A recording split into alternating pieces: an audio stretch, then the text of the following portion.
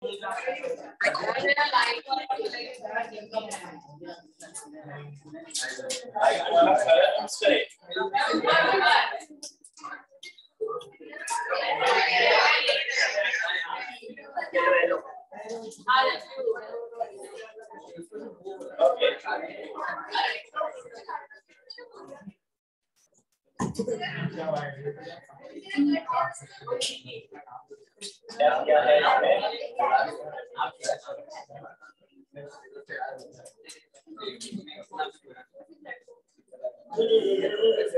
कैसा है तुम्हारे लिए पहला वाला प्रॉब्लम आसानी है, आसान तो पता नहीं सॉल्व हो जाए तो आसान है नहीं तो डिफिकल्टी है। ओके फाइंड पहले प्रॉब्लम लिखो, फिर समझा रहा हूँ।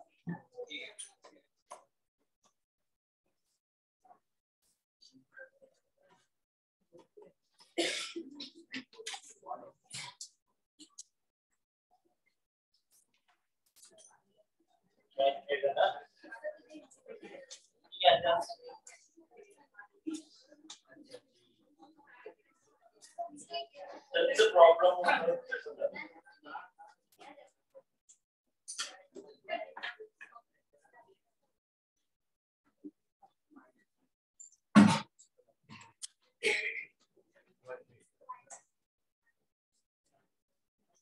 ओके सवाल समझा दो आप ओके अच्छा जो कहानी में मैंने कुछ पहली क्लास थी जो एक्शन थ्योरी वाली क्लास थी जहाँ पर हमने इफेक्टिवली ये पढ़ा था एक नए टाइप का फोर्स आया है फ्रिक्शन जो किसको अपोज करता है मोशन को राइट किसको अपोज करता है और अपोज किसे करता है मोशन के टर्म्स में? रिलेटिव मोशन को नॉट मोशन ठीक है? तो हमने बोला रिलेटिव मोशन को अपोज करता है। और डिपेंडिंग अपॉन दैट उसके डायरेक्शन और मैग्नीट्यूड की बात फिर हमने दो चीज़ें पढ़ी थी, क्या? दो डिफरेंट टाइप के फ्रिक्शन थे काइनेटिक एंड स्टैटिक काइनेटिक में हमने बोला था कि अगर एक्चुअली स्लिपिंग हो रही है, तब लगेगा, उसकी वैल्यू फिक्स थी दैट वाज थी fix value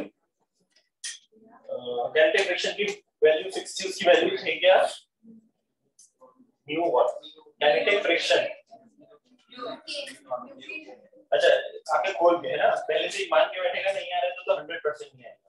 The moment you assume you think you can you can. The moment you think you can't you can't. है ना तो तेरे चेहरे से लग रहा है तूने assume कर लिया कि तो नहीं आता। है ना तो तो 100% आएगा काइनेटिक फ्रिक्शन की मैक्सिमम वैल्यू काइनेटिक फ्रिक्शन की वैल्यू फिक्स या वेरिएबल थी ओके तो क्या की वो वैल्यू हाँ मतलब वो कम वाली चीज़ हमारे लिए सेम ही है। और वो कितनी थी? नहीं नहीं अरे यू के और यू के एन ना अभी अच्छा अभी हमारे लिए अब सारी कहानी जब तक नहीं है, हमारे लिए ये सब सेम है। और उसी को म्यू लिखने वाले राइट ना? तो mu into N N is equal to M G होता था? राइट नहीं होता था। क्या होता था? एक मिनट अच्छा एक मिनट। आराम से, पहले सोचो दो मिनट, है ना? फिर बोला करो। एकदम से सवाल सुनते जब पता नहीं है तो बोलते नहीं हाँ नहीं होता था? तो क्या होता था? वो तो कंडीशन पे डिपेंड करेगा कि आप ब्लॉक हॉरिजॉन्टल प्लेन पे है उसपे फोर्स कैसे लगाया जा रहा है है ना, उस पे डिपेंड करेगा। तो कोई स्टैंडर्ड कोई फार्मूला नहीं राइट है ना तो म्यू क्या म्यू एन लगेगा अगर स्लिपिंग हो रही है सच दैट वो स्लिपिंग को बंद करने की कोशिश करेगा। दूसरी कहानी थी, हमारे पास स्टैटिक फ्रिक्शन स्टैटिक फ्रिक्शन कब लगता था? उसकी क्या कंडीशन थी?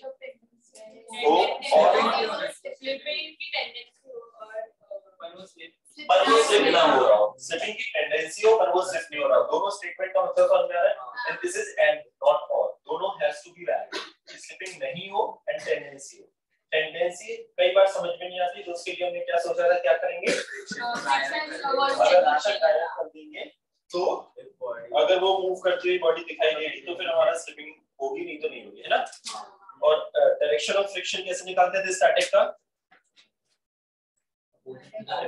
ऑपोजिट टू जहाँ पर उसकी टेंडेंसी है, उसको रोकने की कोशिश कर रहा है इट इज़ नॉट सपोर्टिंग और opposing the motion opposing the relative motion which is about to happen अगर फ्रिक्शन नहीं होता तो। उसके कुछ डिसेंट नंबर ऑफ़ प्रॉब्लम कर ही लिए थे। ये दो कहानी थी है ना? बाकी कहानी f is equal to ma ही है right okay so starting with छोटू सा प्रॉब्लम गुड प्रॉब्लम है। ना सुन ध्यान से। क्या है? कि एक एक 3 kg का ब्लॉक है उस पर हम 6 न्यूटन का फोर्स लगा रहे हैं 1 मीटर तक, ठीक है? 1 मीटर तक लगा रहे हैं 6 न्यूटन का फोर्स फिर वो एक रीजन में एंटर करता है, जहाँ पर म्यू की वैल्यू दी गई है 0.5 है ना? और हमसे पूछा गया time after which block will stop मतलब 100% ब्लॉक रुक रहा होगा, तभी ये पूछा गया है ना? तुम अब दिमाग लगाना स्टार्ट करो कि कहाँ पे क्या क्या करेंगे। सच दैट मतलब इवेंचुअली फॉर श्योर कहीं ना कहीं ये रुक रहा होगा, है ना? ये स्मूथ आपने दिया इसका मतलब ये फ्रिक्शनलेस है। हाँ हाँ स्मूथ का मतलब ही फ्रिक्शनलेस है। मतलब म्यू की वैल्यू ज़ीरो है। हाँ और क्या होगा स्मूथ का मतलब? ये पार्टीशन के बाद फ्रिक्शन पार्टीशन पार्टीशन हो गया। इसका सकता है पार्टीशन के बाद मतलब इस लाइन के बाद इट्स अ रफ सरफेस लेकिन व्यू दे दिया मतलब रफ सरफेस है। है ना? व्यू नहीं दिया है मतलब वो स्मूथ सरफेस है गिवन है find the time after which this will stop पूरा पूरा पूरा पूरा रिवीजन हो जाएगा जो जो चीज़ें आपने भी पढ़ी है कुछ कुछ फिर बाद थोड़ा और बेटर प्रॉब्लम्स पे आते हैं। सो एक्चुअली अगर तुम ध्यान से देखोगे ना फ्रिक्शन में, पहली क्लास के बाद केवल वेरिएशन ऑफ़ प्रॉब्लम्स कोई फार्मूला है फार्मूला तो यही बताया ही बताया यार अब ऐसा क्या था फिर नहीं हाँ तो पूछ रहे थे। नॉर्मल नॉर्मल क्या होता है नहीं नॉर्मल काफ़ी अच्छा लगेगा ही नहीं। क्योंकि सरफेस पे ना तो उसका बैलेंस कर देना। तो लेकिन नॉर्मल लगेगा ना? हाँ, और उसको तो नहीं। बैलेंस कर रहे हैं। मोशन के डायरेक्शन में हम नॉर्मल का रोल किया है। फ्रिक्शन निकालने में तो आएगा ना? फ्रिक्शन में तो है। ना समझा? तो कर लो फिर उत्तर निकाल दो फिर अच्छे से। अरे आ गया। टोटल टाइम निकालना है ओके ये मैं समझ नहीं आ रहा है। ये क्या कहा है? ये जगह टीटी लिखा है which is the total time final time अच्छा ही है। बट होता है। ये तेरा टाइम आया है, पहला वाला टाइम आया है। हाँ बिल्कुल सही। ये आ गया। हाँ ओके यार, आसान सवाल है, नहीं ना मुश्किल? है ना? आसानी है ना? यार प्लीज़ सबको करना पड़ेगा कहानी, तभी होगा वो।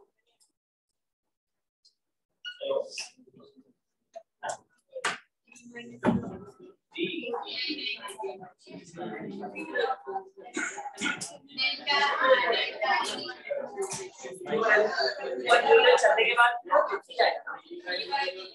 पॉसिबल ही नहीं है ना लेकिन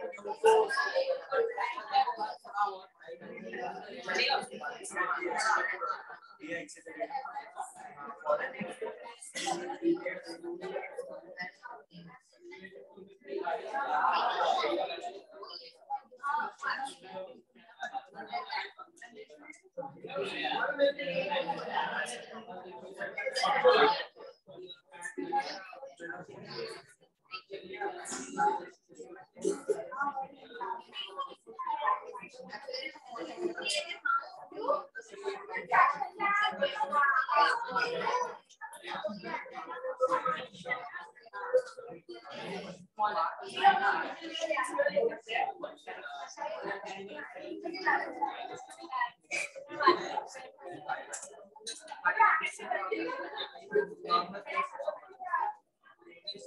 चलेगा उसके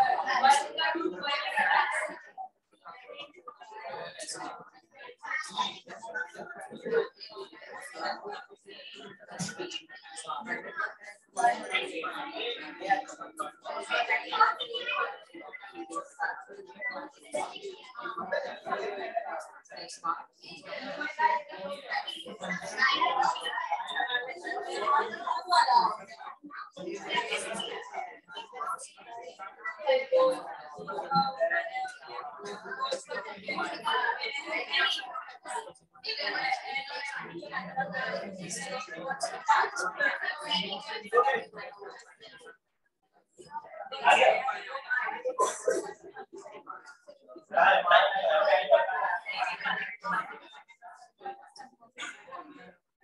हाँ, इंफॉर्मेशन निकाल के फ़ायदा क्या होगा दूसरी चीज़ ये कि एन तूने लिखा है ये सब सही है what is u u okay यार वो गिविंग उसका है ना और- अच्छा लेकिन इससे निकाल के भी तूने लिखा है बट उससे इवेंचुअली क्या कहानी सही लिखी है बट उसका फ़ायदा उठाना पड़ेगा सर जब एक बार इतना पार्ट क्रॉस कर जाएगा तो उसका एफएस मैक्स तो बहुत ज़्यादा है तो मतलब 6 न्यूटन का फोर्स तो लगा के उसको ऑन द स्पॉट रोक सकता है ना सोच वही वाला चक्कर है, वो नंबर का गेम है।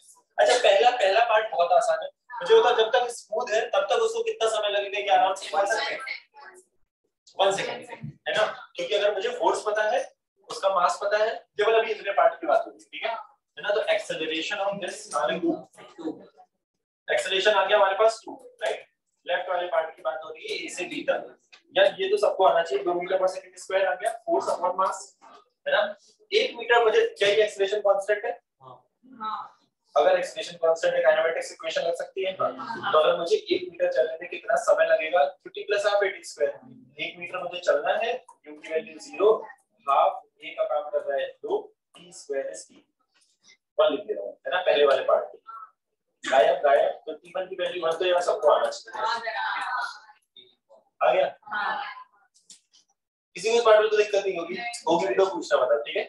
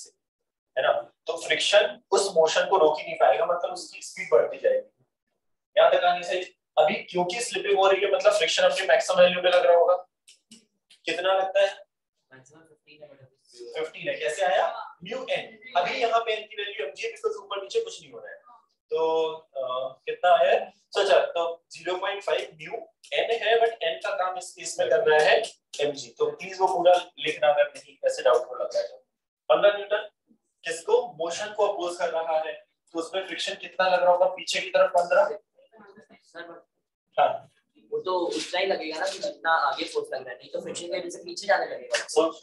फ्रिक्शन की वजह से पीछे जा रहा है। हाँ, तो उसकी इसीलिए- वेलोसिटी आगे है मैं गाड़ी को जब एक्सेलरेट कर रहा हूँ और मैंने ब्रेक लगाया। ब्रेक क्या करता है? वेलोसिटी के ऑपोजिट करता है। इसीलिए वो कम करता है। 6 न्यूटन का इधर है अगर 15 इधर अगर इसकी वेलोसिटी भी होती तो फ्रिक्शन हमारा 6 लगता समझना? तो इसकी वेलोसिटी अच्छा एक मिनट। बेटर वे सोचने का क्या है? क्या स्लिपिंग हो रही है? चाहे ये 6 होता है 6 लाख होता अगर इसकी वेलोसिटी आगे है, या ये हमारा 15 होता है या 15 लाख होता अगर इसकी वेलोसिटी आगे है तो फ्रिक्शन कहाँ लगेगा? उस वेलोसिटी को अपोज करेगा पक्का? तो फ्रिक्शन पीछे लगेगा।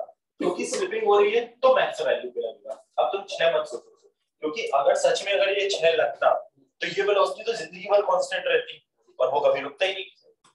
स्लिपिंग को अपोज करता है। है स्लिपिंग हो रही है मतलब फ्रिक्शन कौन सा लगना है? काइनेटिक काइनेटिक फ्रिक्शन की वैल्यू फिक्स होती है। सही है? पक्का?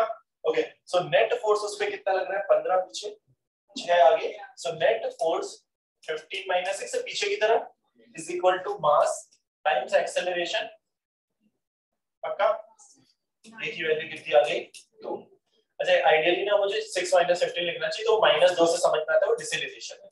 अगर मैंने 15 माइनस 6 लिखा है तो भी मुझे पता है कि डिसेलेरेशन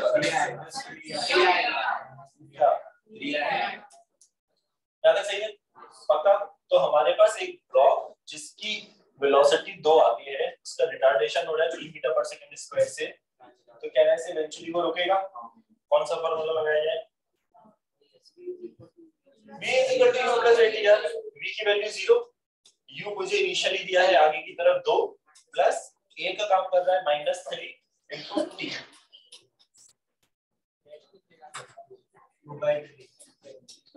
अब क्या बता रहे हैं? Two by three so one आ गया जो पहले वाला, दूसरा वाला आ गया two by three total time हमारे पास कर रहा है बहुत मुश्किल था क्या सवाल? पर करेंगे नहीं नहीं क्या होता है? जी वन सेकंड वाला पार्ट अच्छा वो थ्री भी आ गया फिर तो बचेगी एक लास्ट वाला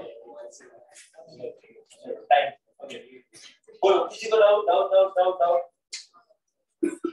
आया था? आ गया था? बाई थ्री तक आया था? बोलना चाहिए, पता होना चाहिए। बताओ बताओ बताओ डाउट है? नहीं? थोड़ा बेटर प्रॉब्लम्स है, ये मतलब लास्ट वाला, देखो। मैंने अगर किसी चीज़ पे फोर्स लगाया पहले स्मूथ सरफेस तो उसके पास एक्सेलरेशन था, क्योंकि कोई फोर्स नहीं कर रहा था। एक्सेलरेशन की वैल्यू आई थी सबसे पहले हमारे पास दो फोर्स अपॉन दिस तो उसके पास वेलोसिटी आ गई थी। यहाँ पे समझ आ गया। कितनी आई वेलोसिटी उसके पास 2 मीटर पर सेकंड आगे की तरफ़।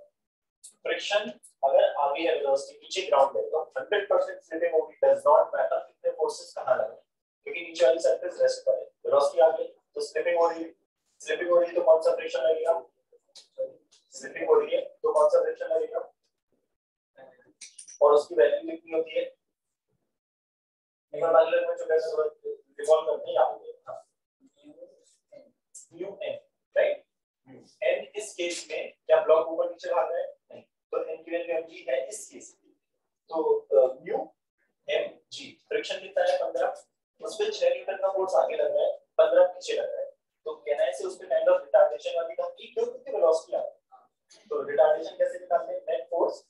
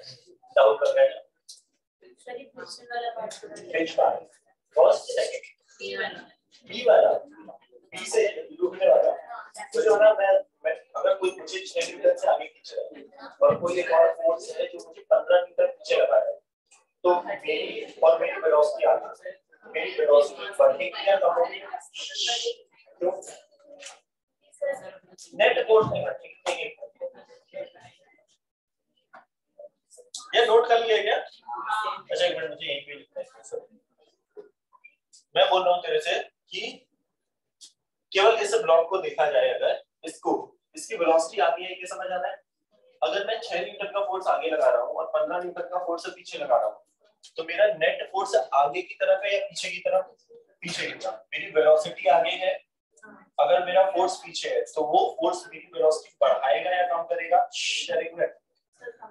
पक्का कम करेगा अगर वो फोर्स कांस्टेंट है कांस्टेंट है क्या 15 माइनस छह कांस्टेंट है क्या ये वैल्यू अच्छा व्हेन वी से कांस्टेंट और वेरिएबल इसका मतलब क्या होता है कि टाइम के साथ या डिस्टेंस के साथ अगर कोई चीज़ चेंज नहीं हो रही है उसको कांस्टेंट बोलते हैं अगर मैं तेरे से बोलूँ मैं पंद्रह न्यूटन का फोर्स पीछे लगा रहा हूँ और छह न्यूटन का फोर्स आगे लगा रहा हूँ तो ये ये और छह एक कांस्टेंट नंबर है या वेरिएबल नंबर है क्या जब ये ब्लॉक थोड़ा सा आगे गया, क्या ये पंद्रह की वैल्यू चेंज होगी, दस हो जाएगी, बारह हो जाएगी या बीस हो जाएगी क्या? ये पंद्रह कहाँ से आया ये नंबर फ्रिक्शन वो कांस्टेंट होती है वैल्यू काइनेटिक फ्रिक्शन की। तो ये वैल्यू क्या चेंज हो जाएगी क्या? ये वैल्यू जो बाहरी इंसान फोर्स लगा रहा है, ये चेंज होगा क्या? कैसे? This is a force applied by the external person है ना? तो ये भी कांस्टेंट है और ये भी कांस्टेंट है। अगर ये दोनों वैल्यूज़ कांस्टेंट है तो इनका माइनस जब हम करेंगे तो 15 माइनस 6 जो 9 होता है, क्या ये कांस्टेंट नंबर या वेरिएबल कांस्टेंट है ना? Net force is equal to mass of the object into acceleration. Acceleration मेरा कितना आ रहा है? 3 क्या ये कांस्टेंट नंबर है? अगर कांस्टेंट है काइनेमेटिक्स की जो हमने इक्वेशंस पढ़ी हैं का सेट ये हम अप्लाई कर सकते हैं या नहीं, कर सकते अगर ये वेरिएबल होता समथिंग लाइक 3x आ जाता, या 3t आ जाता, तब मुझे पता है डिस्टेंस के साथ ही चेंज हो रहा है, या टाइम के साथ चेंज हो रहा है, इसको हम वेरिएबल अगर ये कांस्टेंट है तो कहना है इसे is equal to u 8 is valid b finally block रुक रहा है final velocity zero initial velocity हमने निकाल ली थी 2 प्लस a क्योंकि तो पीछे की तरफ़ है इसकी माइनस अभी समझा क्या? और किसी और को पूछ लेते कि अगला सवाल हाँ रिटार्डेशन वाला पार्ट नहीं समझ आ रहा है। अच्छा रिटार्डेशन किसको? एक मिनट, यार, सुन लो अच्छा। रिटार्डेशन वही। सीधे बैठे अच्छा लगेगा गुड होगा तेरी कमर को कभी कभी बिना सपोर्ट के बैठे रिटार्डेशन वर्ड हम किस जगह पे मतलब कब यूज़ करते हैं? When we say something is retarding इसका मतलब हाँ यार एक बार प्लीज़ समझ ले हाँ रुकना होता है या उसकी स्पीड जो है वो कम हो राइट किसी चीज़ से न्यूटन्स लॉ क्या बोलता है इट्स इक्वल टू एफ़ ठीक है? रिटार्डेशन अगर हमारी स्पीड आगे है और मुझे रुकना है तो मेरा एक्सेलरेशन कहाँ होना चाहिए? पक्का? पीछे होने के लिए एक्सेलरेशन कहाँ से आता है force is equal to mass times acceleration अगर नेट फोर्स अगर नेट फोर्स मेरा पीछे है ये तो एक कांस्टेंट चीज़ है स्केलर नंबर है और हमेशा पॉजिटिव क्वांटिटी है। अगर मुझे रुकना है मतलब मुझे एक्सेलरेशन पीछे चाहिए तो net force has to be पीछे। तभी हमारा नेट फोर्स पीछे आएगा। 6 न्यूटन का फोर्स देखिए, मैं आगे लगा रहा हूँ। है ना? तो मतलब कोई ना कोई एक ऐसा फोर्स आ रहा होगा जो 6 न्यूटन से बड़ा होगा और पीछे लग रहा होगा, तभी बॉडी रुक सकती है। ये सिक्के बाद में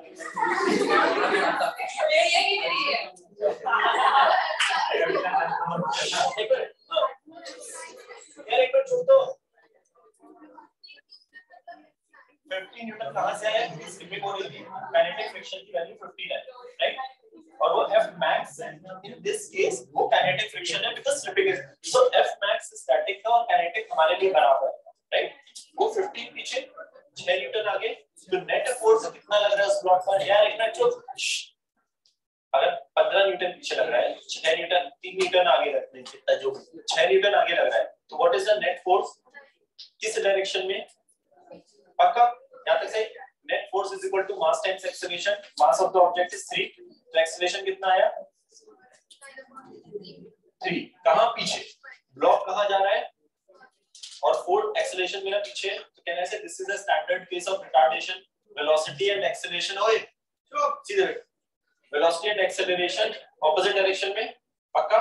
अगर मेरा ब्लॉक कभी रुक रहा है and if I want to find out the time out of the three kinematics equation which one should be used so that मुझे टाइम पता लगे? मुझे क्या क्या पता है? फाइनल वेलोसिटी क्योंकि रुक रहा है वो। इनिशियल वेलोसिटी दो है। एक्सेलरेशन मेरे पास दो, तीन आया, दो आया, जो भी आया। तीन आया। Out of the three equation कौन सी इक्वेशन हम यूज़ करें? कौन सी तीन इक्वेशन किसकी बात कर रहा हूँ मैं? और थर्ड अब इन तीनों इक्वेशन में ऐसी कौन सी इक्वेशन है जिसमें v हो, u हो, a हो और हमें टाइम निकालना हो? फ़र्स्ट तो हमें बी पता है यू पता है ए पता है टी निकल आएगा। वो पहले वाला वो बाद वाला टी आया पहले वाला टी हमने निकाल लिया था दोनों को ऐड कर दिया। पहले आगे। यस है किसी को और भी पूछ सकते हो? मतलब जब चार और होता है एक और और होता है। है किसी को? डाउट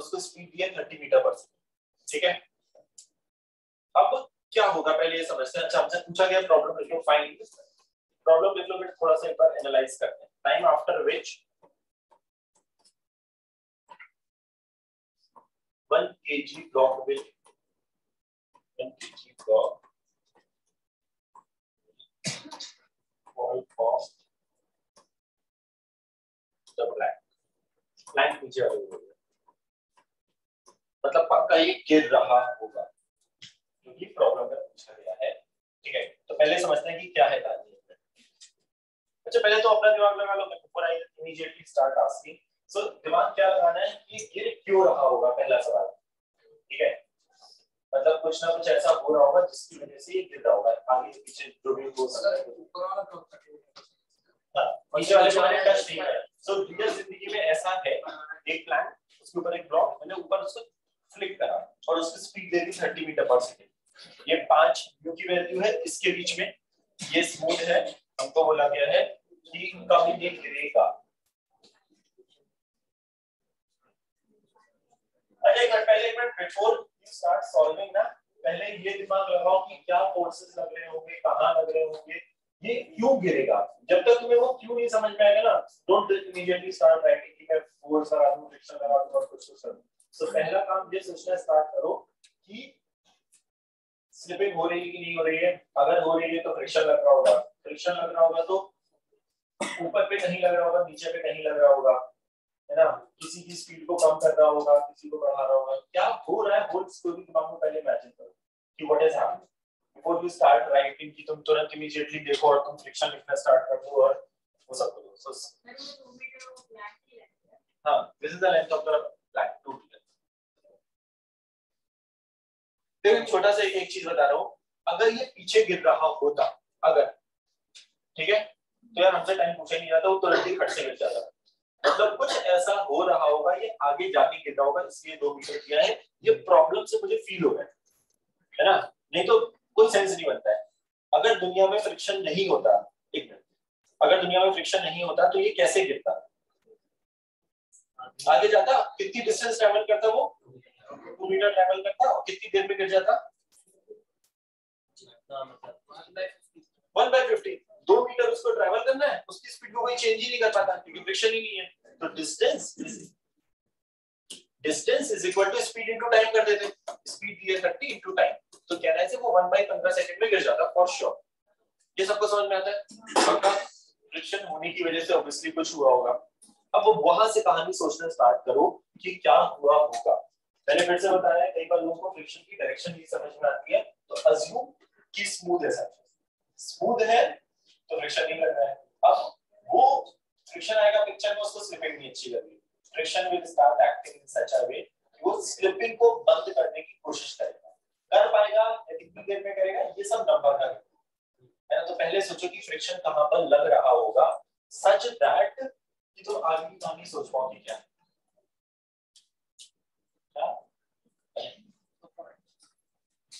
अच्छा हाँ कुछ पूछा तो आ गया।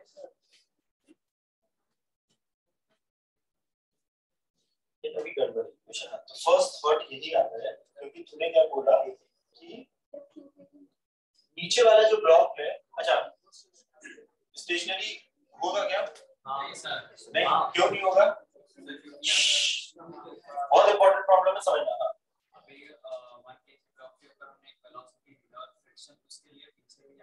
किस पे एक्ट करेगा पीछे? वेरी गुड अच्छा जो जो चीज़ सही है मैं वो एटलीस्ट लिखता जा रहा हूँ क्योंकि तुमने सुन ली है वैसे भी। है ना? तुम दिमाग तो लगाओगे तो लेट्स स्टार्ट विद दैट अच्छा तुमने क्यों सोचा फ्रिक्शन पीछे लग रहा है? What is the reason 1 kg पर पीछे क्यों बोला? वेलोसिटी आगे है या हमने क्या बोला था? स्लिपिंग आगे हो रही है। है ना? तो इस पर फॉर श्योर पीछे लग रहा होगा। कितना लग रहा होगा? उस पर मानना है। ये अच्छा वैसे स्लिपिंग हो रही है तो फ्रिक्शन मैक्सिमम वैल्यू पे लगेगा। चलो तो ती- सीधे डायरेक्टली f की वैल्यू लिख दे क्योंकि वो दिख रहा है स्लिपिंग हो रही है for sure which is equal to how much 5 कैसे आया? म्यू mg म्यू n है ना? इस जगह पर नॉर्मल रिएक्शन क्या ये ब्लॉक ऊपर नीचे भाग रहा है ना? तो नॉर्मल रिएक्शन की वैल्यू है हमारे पास mg इसका है। 1 का या 2 का? बीच वाली सरफेस पे यहाँ पर जो नॉर्मल रिएक्शन होगा, वो 1 इंटू जी के बराबर होगा। तो म्यू का काम कर रहा है 0.5 एम का काम कर रहा है 1 जी का काम कर रहा है 10 तो 5 मीटर लग रहा है यही ना? अब बताओ आगे स्टेप क्या सोचा है हमने फ्रिक्शन पीछे की तरफ़ बात करा दो केजी और सरफेस के बीच में। इट्स अ स्मूथ सरफेस तो इसीलिए स्मूथ सरफेस तो नीचे वाली है। नीचे वाला है।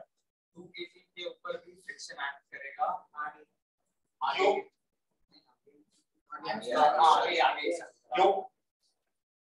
क्योंकि वन केजी के हिसाब से वो पीछे पीछे रिलेटिव वर्क कर रहा है। तो और action reaction action reaction pair is non point normally जब हम ब्लॉक को ग्राउंड पे रखते हैं तो हमें ग्राउंड को स्टडी नहीं करना होता है तो नीचे वाला जो ग्राउंड का फ्रिक्शन होता है, जैसे पुराना प्रॉब्लम था, मुझे सोचने नहीं।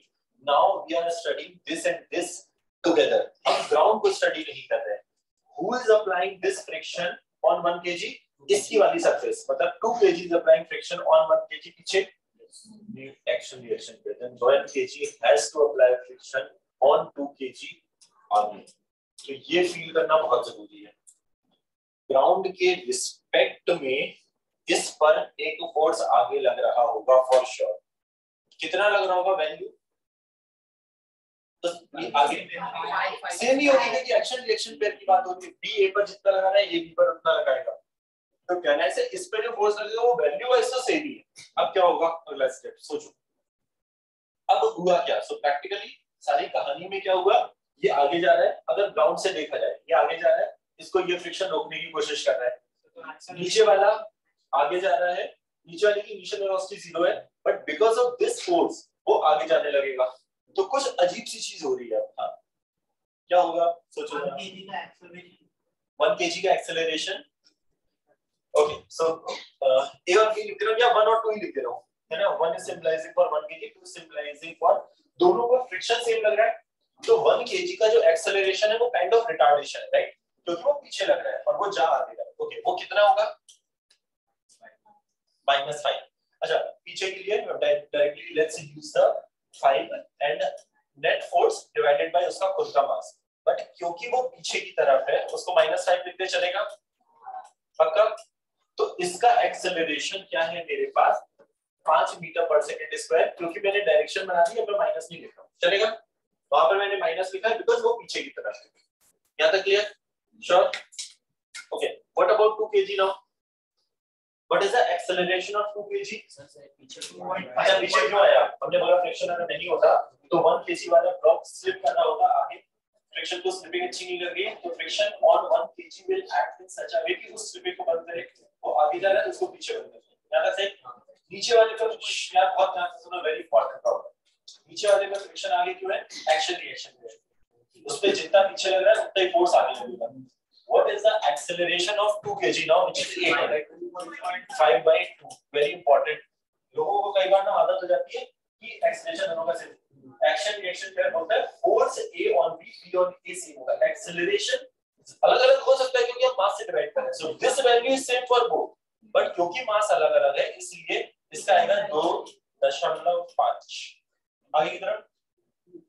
अब सोचते हैं कि क्या होगा। अब ना होता क्वेश्चन एक्चुअली स्टार्ट कि हमें एक्सेलरेशन आ गया है दोनों का ऊपर वाले की वेलोसिटी दी गई है कुछ कुछ कुछ कुछ। अब क्या करें? अब थोड़ा सा प्रॉब्लम है। This is the problem of mathematics हैं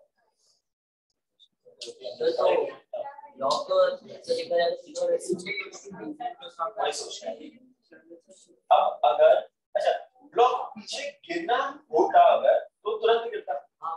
अगर तुरंत गिरता मतलब ये नीचे से स्लिप कर जाता तो गिरता। अगर मैं इसकी जगह इसको वेलोसिटी देता तो ये खिसक जाता और गिर जाता। फिर इसको वेलोसिटी अच्छा क्या एक्सेलरेशन पहले कुछ वेलोसिटी को चेंज करेगा? इसकी वेलोसिटी आगे है ना तो इसको तो प्रैक्टिकली आगे जाने का मन हो रहा है। है ना? तो पीछे तो एकदम से नहीं गिरेगा। हो सकता है बाद में गिर जाए तो गिर जाए पता नहीं बट इमीडिएटली तो नहीं गिरेगा। क्या होगा कोई फील से बता सकता है? Sir relative acceleration this is very important relative acceleration जब भी दो चीज़ें मूव हो रही हो ना तो प्लीज़ ये सोचना बड़ा अजीब सा है टू बी ऑनेस्ट ये आगे जा रहा है, इस पे फोर्स पीछे लग रहा है, ये भी आगे जा रहा है इसका एक्सेलरेशन आगे है। तो प्रैक्टिकली क्या हो रहा है, थोड़ी देर में, ये अगर मैं थोड़ी देर में डायग्राम बनाऊँ कि ये ब्लॉक यहाँ पहुँच चुका है, थोड़ी देर में, किसी बीच वाले टाइम पे गिरने के पहले। ये थोड़ा सा आगे चल चुका है, और ये इस पर और आगे चल चुका है। ऐसा कुछ हुआ होगा। क्यों? क्योंकि इसको, इस फोर्स की वजह से आगे जाना है। इसको इस वेलोसिटी की वजह से आगे जाना है बट इसकी वेलोसिटी कम हो रही है बिकॉज़ ऑफ़ दिस फोर्स और इसकी वेलोसिटी जो इनिशियली ज़ीरो है, वो बढ़ रही है। तो इवेंचुअली दोनों आगे जा रहे हैं बट ऊपर वाला ब्लॉक इस पर स्लिप भी कर रहा है। जब वो गिरेगा, तब सिचुएशन क्या होगी? बड़ा वाला यहाँ पहुँच चुका है और आगे वाला यहाँ पहुँच चुका है। अब वो गिर जाएगा। ऐसा कुछ हो रहा होगा। सो ग्राउंड के रिस्पेक्ट में, ये बड़ा वाला है, ये छोटा वाला यहाँ रखा है। जैसे जैसे आगे बढ़ेगा ना तो दोनों आगे जा रहे हैं बट ऊपर वाला ज़्यादा तेज़ी से आगे की तरफ़ बढ़ रहा है और फिर वो आगे आगे गिरेगा अब ये सोचना बड़ा मुश्किल काम है। दैट्स व्हाई हमने सर ऐसा होगा कि वो एक्सेलरेशन उसको एकदम स्टॉप कर देगा। एक्सेलरेशन कभी भी उसको जब हम गाड़ी पे ब्रेक लगाते हैं कितनी भी स्पीड हो या तुम कितना भी हार्ड ब्रेक लगाओ क्या गाड़ी इमीडिएटली खड़ी रुक जाती है। 30 मीटर पर सेकंड वो आगे जाएगा। वो 30 से आ रहे तो फिर पहले 25 होगा 20 होगा 50 होगा धीरे धीरे कम होगा।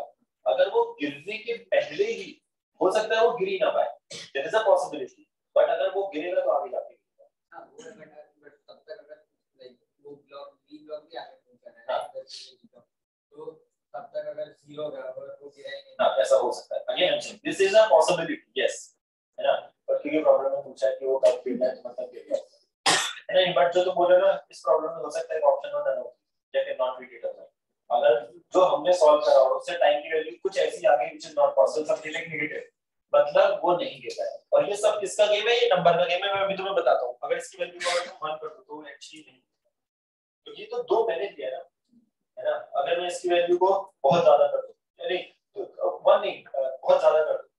कम में तो गिरी जाएगा, अगर दो पे गिर जाए तो वन में तो गिरी जाएगा। अगर इसकी वैल्यू को मैं टेन कर दूँ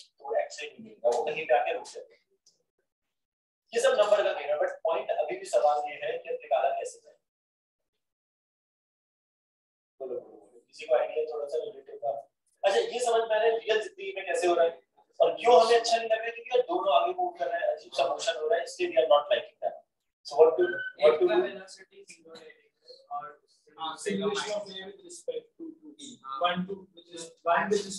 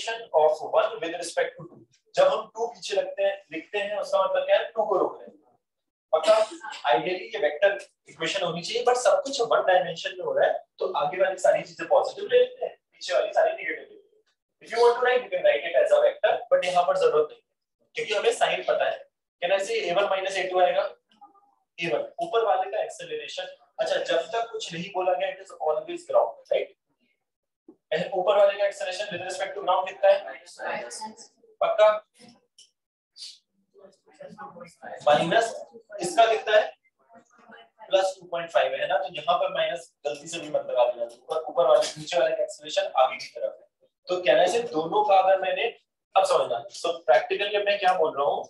ये मेरा टू है, ये वन है, इसको रोका। रोका मतलब ये रेस्ट पर है। पक्का एक्सेलरेशन ऑफ़ वन इसका एक्सेलरेशन जो इंसान यहाँ पर बैठा है रिलेटिव का मतलब यही होता है ना कि मैं दो पर बैठ गया हूँ। इसका एक्सेलरेशन कितना रहा है? Minus seven point five metre पर सेकेंड स्क्वायर राइट एक और चीज़ और सुनो एक बार। U a12 निकाला है ना, मैं तुमसे पूछूँ u12 क्या है? मतलब initial velocity of 2 with respect to 1 अगर फार्मूले से डायरेक्टली नहीं समझ में आता तो मैं लिखूँगा u1 u2 1 की वेलोसिटी कितनी है? 30 पक्का? और 2 की कितनी है? तो कहना है से u12 आ रही है मेरे लिए नया प्रॉब्लम पुराना प्रॉब्लम बिल्कुल ही भूल जाओ। नहीं तो हम क्या सोचते रहते ना कहानी? यार ये नहीं सोच रहे हो तो अब ये सोच रहे होते इमीडिएटली जैसे तुमने वन टू लिखा, तुम सोचो अब ये नई कहानी। व्हाट इज़ दैट नई कहानी? यू वन टू मतलब इस इंसान के रिस्पेक्ट में मैं 30 मीटर पर सेकंड से आगे जा रहा हूँ और इस इंसान के रिस्पेक्ट में मेरा एक्सेलरेशन कितना है पीछे की तरफ़? 7.5 मीटर पर सेकंड स्क्वायर पक्का? मतलब ये वही वाला, अभी जो केस करा, वही वाला हो गया। This is like a retardation अब ये हो सकता है अब ये रुक चुका है भूल जाना कि कुछ प्रॉब्लम एग्जिस्ट भी करता था। हो सकता है ये पहले ही ऊर्जा यही गई हो सकता है कि बहुत आगे जाना चाहता हूँ मतलब ये दो मीटर चल के गिर जाएगा। क्या ये बात समझ में आ रही है? अगर रिलेटिव एक्सेलरेशन मेरा कांस्टेंट है तो क्या अभी भी मैं वापस काइनेमेटिक इक्वेशन लगा सकता हूँ? अब ऐसी कौन सी इक्वेशन है आउट ऑफ़ द थ्री जहाँ पर मुझे डिस्प्लेसमेंट पता हो velocity plus half square f is equal to u t plus half a t square. ये समझ में आ रहा है? अगर मैंने यहाँ पे वन टू लिखा तो यहाँ वन टू यहाँ वन टू पक्का? U वन टू हमने निकाल लिया है क्या? बस प्लस थर्टी t की value t plus half a का काम कर रहा है minus seven point five into T square S one two क्या है? इसकी वैल्यू क्या लिखेंगे प्लस टू और minus two plus two reason is जो इंसान यहाँ पे बैठा है। उसके लिए वो आगे जाके गिर जाए आगे मतलब कितना आगे जाके गिराना है उसको दो metre. It is plus two यहाँ पर कहना से मेरे पास एक ही इक्वेशन है एक ही अननोन है। Now what you are asking समझना ध्यान से इसको हम सॉल्व करेंगे क्योंकि कुछ वैल्यू आएगी। सर गंदा सा। गंदा सा है? हाँ क्वाड्रेटिक बन रही है मुझे भी लग रहा है क्वाड्रेटिक बन रही होगी। अगर वो वैल्यू दोनों ही नेगेटिव आ गई मतलब ये कभी नहीं गिरेगा answer would be none of this दोनों नेगेटिव मतलब मतलब मतलब वो जो भी। दोनों हाँ? नहीं एक मिनट मैं बता दूँ एक सेकंड इसको मैं 15.2 लिख रहा हूँ क्वाड्रेटिक इक्वेशन क्या बन रही है सॉल्व करके। हाँ 2 से मल्टीप्लाई करना है। 7 2 से 4 से करना पड़ेगा तब वो 15 आएगा 15 d square minus 120 d minus 120 T okay plus 8 है ना? अच्छा क्वाड्रेटिक इक्वेशन बन रही एक्चुअली ठीक है? So what I am saying is एक चीज़ बता रहा हूँ अच्छा। क्योंकि ये problem can be asked in this way कि आंसर नन ऑफ़ दीस हो सकता है। सो नाउ ये है, अब इसका सुंदर सुंदर रूप तो दिख नहीं रहे क्योंकि वहाँ बन है। सो टी की वैल्यू अच्छा तो सबको ये पता है x square plus bx plus c अगर अच्छे रूट नहीं होते तो कैसे सॉल्व करते हैं? Minus plus minus b square minus 4 तो माइनस b मतलब plus 120 plus minus b square मतलब 120 का स्क्वायर two zero. 120 का स्क्वायर Minus four into fifteen. Minus four into minus four into fifteen into eight है ना।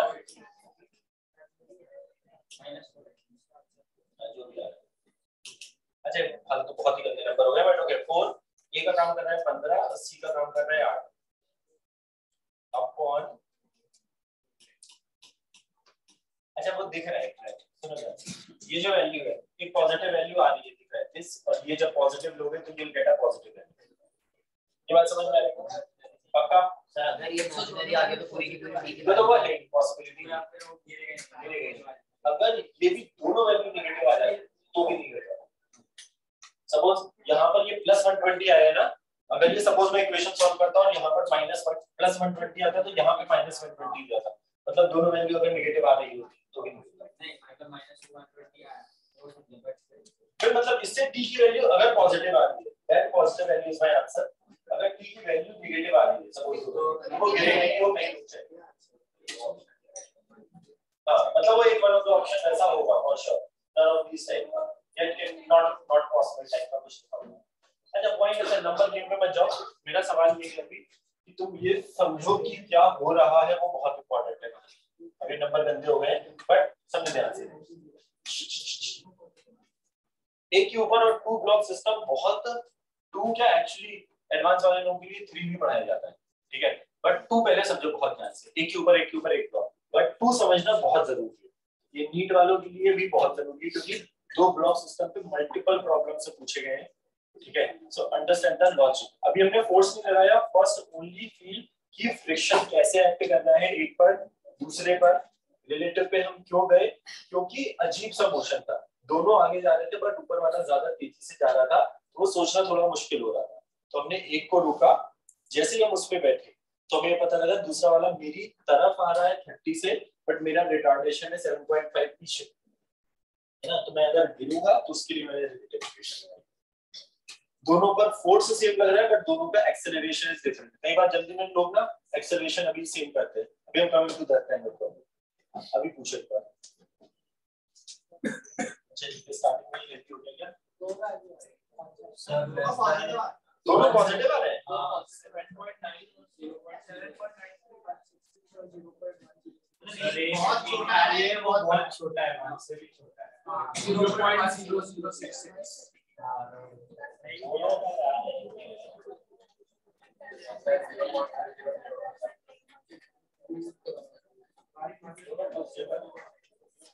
एक एक जो है छोटा है वो वन बाय छोटा ही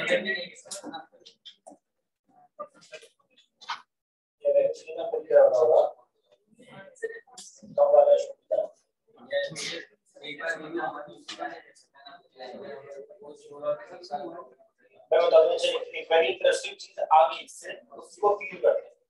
हमने प्रैक्टिकली जब ये क्वेश्चन लगाया ना रिलेटिव मोशन वाले तो मैंने तो वहाँ पे टू लिखा अगर मैं तुमसे एक सवाल करूँ एक ब्लॉक अच्छा एक बहुत अच्छी चीज़ आई है, इससे एक और चीज़ काइनेमेटिक्स समझने वाली है। अगर मैं तुमसे बोलूँ कि एक ऑब्जेक्ट है जिसकी स्पीड है 10 मीटर पर सेकंड आगे, ठीक है? मैं उस पर कॉन्स्टेंटली पीछे की तरफ़ फोर्स लगा रहा हूँ, या उसका एक्सेलरेशन कॉन्स्टेंटली पीछे की तरफ़ है, ठीक है? कॉन्स्टेंटली माइनस फाइव मीटर पर सेकेंड स्क्वायर है, ठीक है? ये आगे जाएगा और ये पक्का यू टर्न मारेगा। अगर मैं तुमसे पूछूँ ये दो मीटर कब कब है जब ये आगे जा रहा होगा, तब यहाँ पर एक बार क्रॉस करेगा, फिर एक बार ये यू टर्न मारेगा और फिर से इस जगह को क्रॉस करेगा। ये बात समझ में आती है? पार्टिकल था। एक बॉल बॉल को मैं अगर ऊपर फेंक रहा हूँ, ये यू टर्न मार के नीचे आती है बिकॉज़ इसका कंटिन्यूसली एक्सेलरेशन नीचे मैं अगर पूछूँ, ये बॉल इस जगह को कितनी बार क्रॉस करेगी कहने से दो बार, एक बार ऊपर जाते टाइम, एक बार नीचे जाते टाइम। ये बात समझ में आती है सबको? ऐसे ही कुछ हो रहा है यहाँ पर। क्या हमने सवाल मेरा क्या हो गया? जब मैंने सब करा इवेंचुअली मेरा सवाल क्या होगा कि एक ब्लॉक जिसकी वेलोसिटी 30 आगे और एक्सेलरेशन पीछे तो ये अगर मैं इसको बिल्कुल ही उस प्रॉब्लम से कंपेयर करूँ कि स्पीड आगे है और एक्सेलरेशन पीछे तो ये आगे जाके काइंड ऑफ़ न्यूटन ले रहा होगा। तो किसी भी एक पर्टिकुलर पॉइंट को वो दो बार क्रॉस करेगा। क्योंकि जब मैंने ये इक्वेशन लगाई तो मैंने यही तो बोला कि उसका डिस्प्लेसमेंट दो मीटर है। आगे जा रहा है, एक बार यहाँ क्रॉस किया और एक बार यहाँ। बट जब वो पहली बार ही क्रॉस करेगा, तभी वो गिर जाएगा। Which is 0.5 छोटा वाला छोटा वाला एग्ज़ाम अच्छा ये सब नंबर की कहानी है, क्या नंबर दिए गए हैं बट उससे हमें एक और इम्पोर्टेंट चीज़ पता लगी this is like a ball ball अच्छा ये यहाँ पे मुश्किल क्यों लग रहा है? क्योंकि हम पूरे प्रॉब्लम को एज अ होल देख रहे हैं। अगर मुझे सच में केवल यही ब्लॉक वाला प्रॉब्लम दिया होता बॉल वाला, ऊपर फेंका, बताओ ये किस जगह को कितने बार क्रॉस करेगा और किस किस टाइम पर करेगा? तो हम निकाल सकते थे। S is equal to ut plus half at square लगाते थे तो t में क्वाड्रेटिक बनती थी। तो एक t वाला ये आता था और एक t ये आता था। है ना? इसलिए वो प्रॉब्लम आसान लगता था। बट तुम इस इस इतने बड़े प्रॉब्लम को ऐसे सोचो, सब कुछ करने के बाद फाइनली प्रॉब्लम तो यही बचा ना, कि एक ब्लॉक 30 मीटर से आगे जा रहा है, जिसका एक्सीलरेशन पीछे की तरफ़ है। वो दो मीटर वाली जगह को कितनी देर में पहुंचेगा? अगर तुम हर प्रॉब्लम को ब्रेक कर दो छोटे छोटे पार्ट में can I say this problem is exactly like ball वाला प्रॉब्लम यहाँ तक पहुँचने के लिए मैंने कुछ और मेहनत करी है। But once I have reached here can I say exactly हमारा काइनेमेटिक्स का प्रॉब्लम है?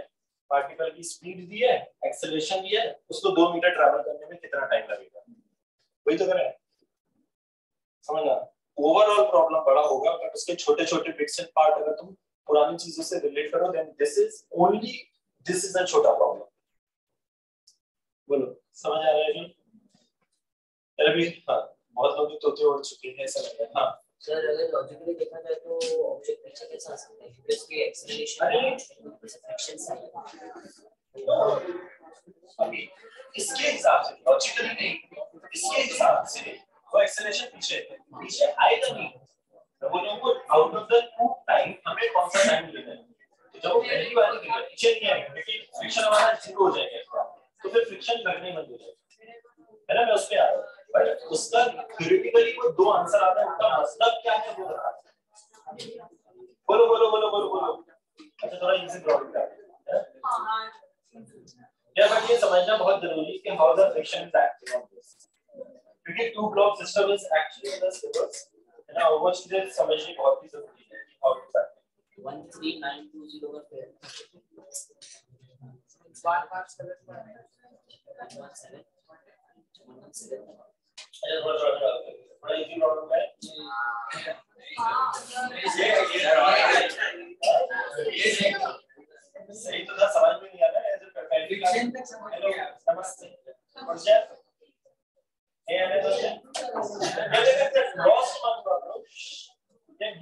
करना पड़ेगा ये तुम्हें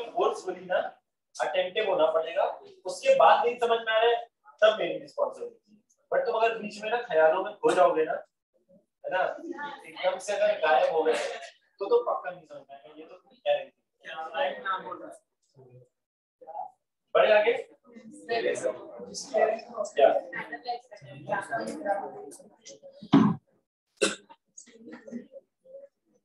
अगर लग रहा हो एक बार वापस समझाओ क्या अच्छा बार बार सुनने से नहीं होगा दिमाग को फ्री क्या नहीं समझ में कोशिश करो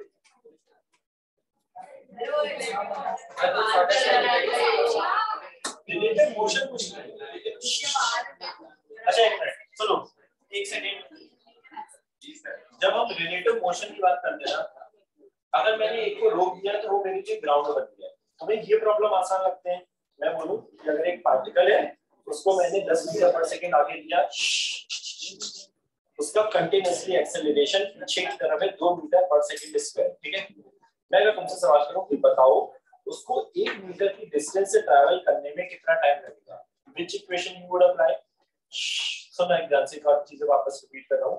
काइनेमेटिक्स समझा रहा हूँ एक ब्लॉक 10 मीटर पर सेकंड आगे उसका acceleration 2 metre per second square पीछे उसको 1 मीटर ट्रैवल करने में कितना टाइम लगेगा? कैसे निकालेंगे? S की जगह क्या रखेंगे? U की जगह? प्लस टेन t हमें निकालना है। A की जगह पक्का? है ना? उससे हमारे पास टाइम आ जाएगा। क्या ये बात समझ में आ रही है? बिल्कुल अच्छे से। अब इस चीज़ को रिलेटिव का मतलब क्या है? जैसे ही मैंने अगर किसी रिलेटिव को मतलब है रोकना। अगर मैंने इसको रोक दिया तो ये मेरे लिए ग्राउंड बन गया ना। कहना से ये प्रॉब्लम और ये प्रॉब्लम एग्जैक्टली सेम है? एक ब्लॉक जिसकी वेलोसिटी आगे एक्सेलरेशन पीछे और दो मीटर ट्रैवल करने में कितना टाइम लगेगा, ये सेम है। आप समझते हैं ये कहाँ से आया। ठीक है? क्यों आया? कहाँ से आया? ये भी आगे जा रहा था और नीचे वाला भी आगे जा रहा था। क्यों? क्योंकि एक पे बोर्ड से पीछे लग रहा था वेलोसिटी बट उसकी आगे थी। इसकी वेलोसिटी ज़ीरो थी और फोर्स आगे लग रहा था। सो प्रैक्टिकली दोनों आगे जा रहे हैं। तो वो अजीब सा लग रहा है हमें। तो हमने क्या बोला? दोनों आगे जाने को समझने के लिए हमने कहा, एक काम करते हैं, किसी एक को रोक देते हैं तो वो ग्राउंड जैसा प्रॉब्लम बन जाएगा। किसको रोका? तो हमने कहा प्लान को रोक देते हैं। कोई फ़र्क नहीं पड़ता। प्लान को रोका ए वन टू निकाला यू वन टू निकाला कैसे निकाला वन माइनस टू जैसे वो करा ऐसे वो वही प्रॉब्लम बन गया जो इंडिपेंडेंटली छोटा problem please break the problem तब समझ में आएगी। सही है? अभी बढ़े आगे?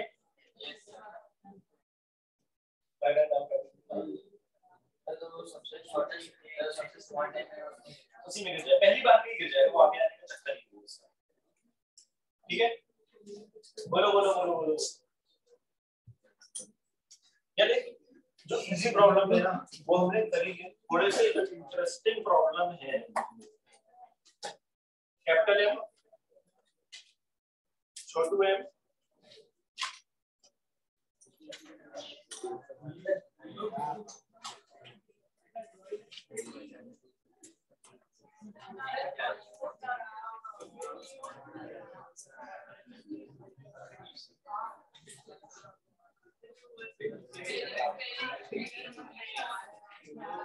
अच्छा मैं तुम्हें प्रॉब्लम ना मैं ब्रेक करके थोड़ा सा और बेटर समझा दो समझा इवेंचुअली कुछ प्रॉब्लम हो रही है। एक्चुअल प्रॉब्लम नहीं हो फिर तुम्हारी जान निकल जाएगी सुनो पहले। अगर ऐसा कुछ है कहानी इफ़ आई आस्क यू ओए आई आस्क यू कि हम इस पर ऊपर वाले पर कम से कम कितना फोर्स लगाए कि ये मूव करने लगे। हाँ, नहीं नहीं अच्छा पुली फिक्स है एक हाँ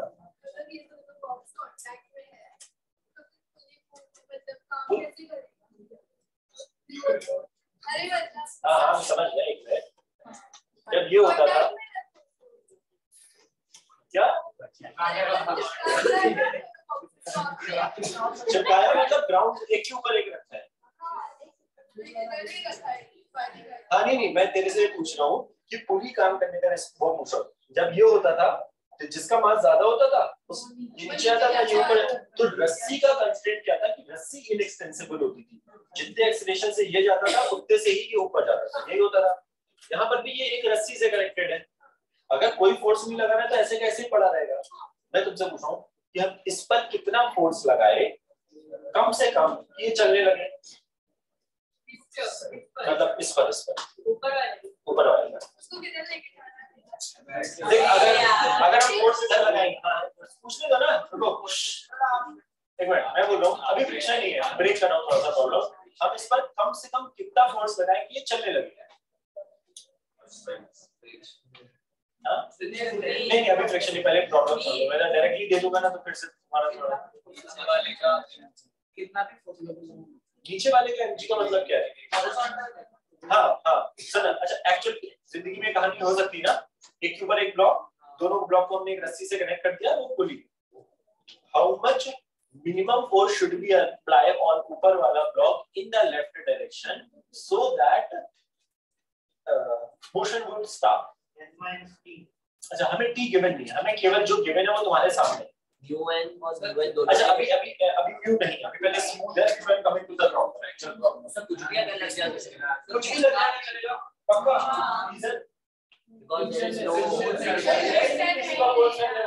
अगर मैंने हल्का सा भी फोर्स लगाया, इसको अपोज करने वाला कौन है? ये टेंशन हो सकता है।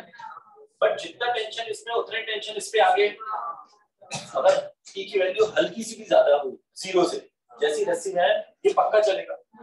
जैसे ये पक्का चलेगा, हल्का सा ये आगे गया तो उसको आगे जाना पड़ेगा फॉर श्योर पक्का ये कहानी समझ में आ रही है इसमें किसी को एफबीटी में किसी को डाउट है इसके एक्चुअल प्रॉब्लम देख यहाँ पर म्यू है यहाँ पर म्यू बाई टू है now so the problem is friction coefficient between छोटू m and बड़ा m is mu friction coefficient between बड़ा m and the ground is mu by 2 find the minimum force required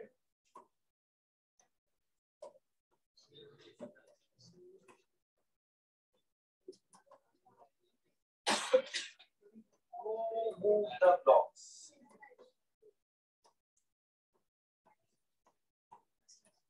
और ये छोटी सी hint दे दूँ क्या हाँ यार तो बोलना चाहिए ना नहीं नहीं यार तुरंत ही दे दूँगा ना तो फिर वही होगा very good that's the spirit दो है हम लोग अच्छा क्या अच्छा किसी को क्या पहले वाले बात में डाउट है कि हल्का सा भी फोर्स लगाते हैं अगर तुम पहले वाले केस में तो वो चलने लगता है। उसमें किसी को डाउट है? नहीं। क्योंकि कोई अपोज करने वाली कहानी नहीं है। टच भी करोगे उसके ऊपर वाले। तो हल्का सा चले। चाहे वो नीचे वाले। Okay sir mass block same है ना नहीं नहीं अलग अलग है। छोटा या बड़ा है।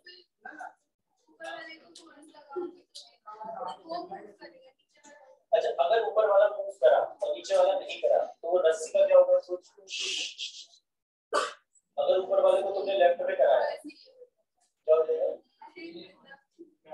एक मिनट अगर ऊपर वाला लेफ़्ट में करा और नीचे वाला फिर से रखो तो व्हाट विल हैपन टू रस्सी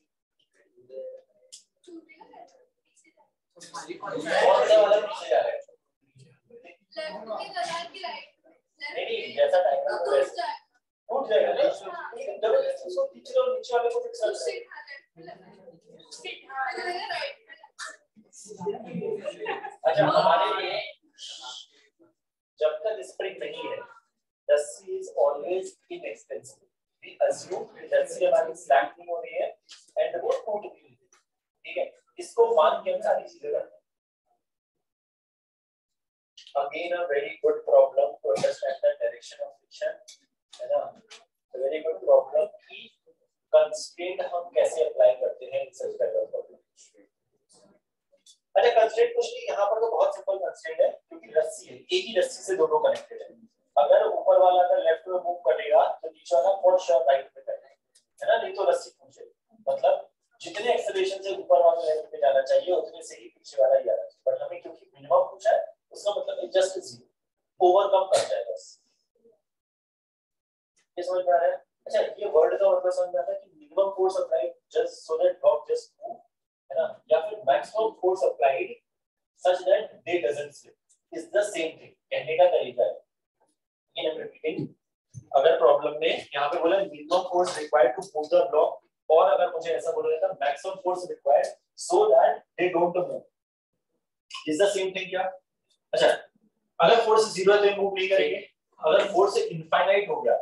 तो 100% मूव कर रहे हैं।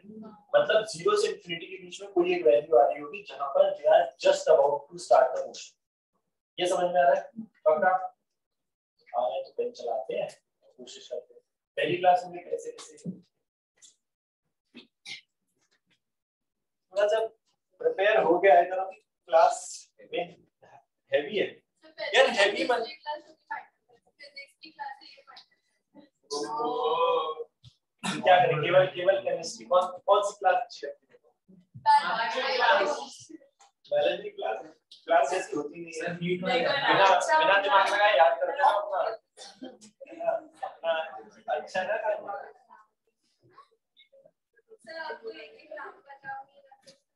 क्या सर एग्ज़ाम दे दो फ्रिक्शन का क्या बोलती है एक एग्ज़ाम बताओ बायो का इसीलिए तो अच्छा लगता है तो इतनी मुश्किल मुश्किल चीज़ें याद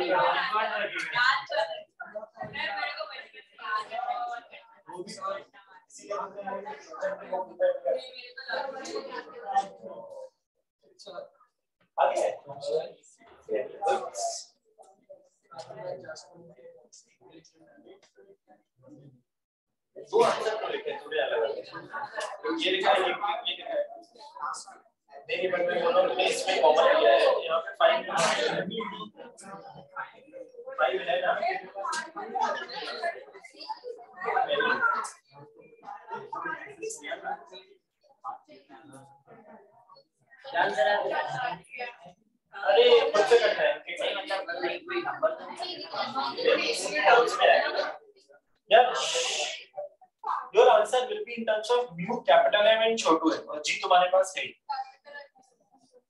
ही। ये डिस्कस कर लेना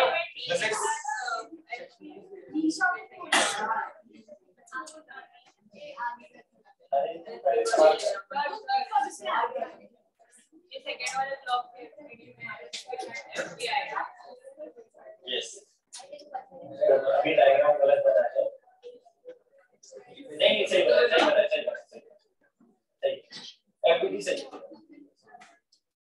और से सही बनाया अच्छा आया? अच्छा बहुत सारे लोग ऐसा काम क्यों करते हैं कि छोड़ ही देते हैं? सर आप लिखो फिर हम छापेंगे पहला काम एफबीडी बनाने की कोशिश तो करो एटलीस्ट जब जब स्लिपिंग हो रही है तो, तो बहुत आसान है। ना अच्छा एक मिनट। अभी हमने क्या बात कही कि अगर फ्रिक्शन नहीं होता। तो मूवमेंट ऑफ़ द ब्लॉक समझ में आ रहा है? उसके ऑपोजिट लगा दिया है। है? नहीं यहाँ तक का नहीं होगा ना इक्वेशन है। उसको सॉल्व कर पता लग जाएगा। और जो लिमिटिंग केस है ना जो तू लिख रहा है मुझे फाइन लिमिटिंग केस में acceleration should be zero when we say just about तो हमारा limiting is always a zero तो ये और बताएगा? What one right answer is very good but लेकिन बाकी लोग at least try to draw the FPD of this thing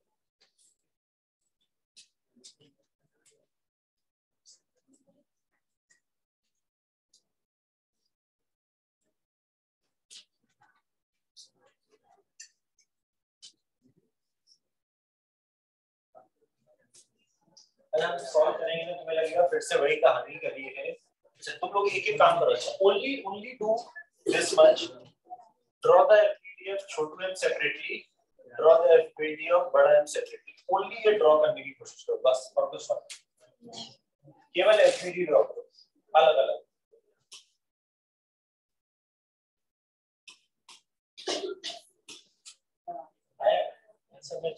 Factor Yes, very good.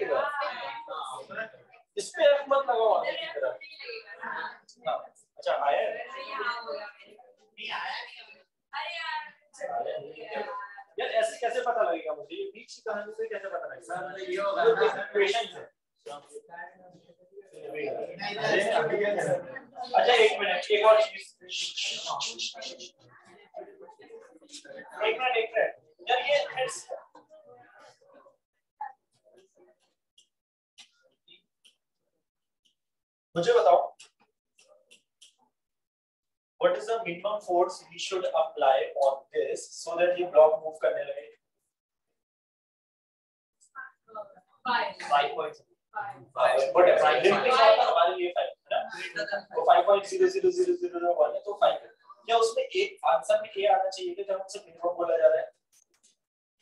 तुमने ये बोला कि इसमें मैक्सिमम फ्रिक्शन फोर्स लग रहा है।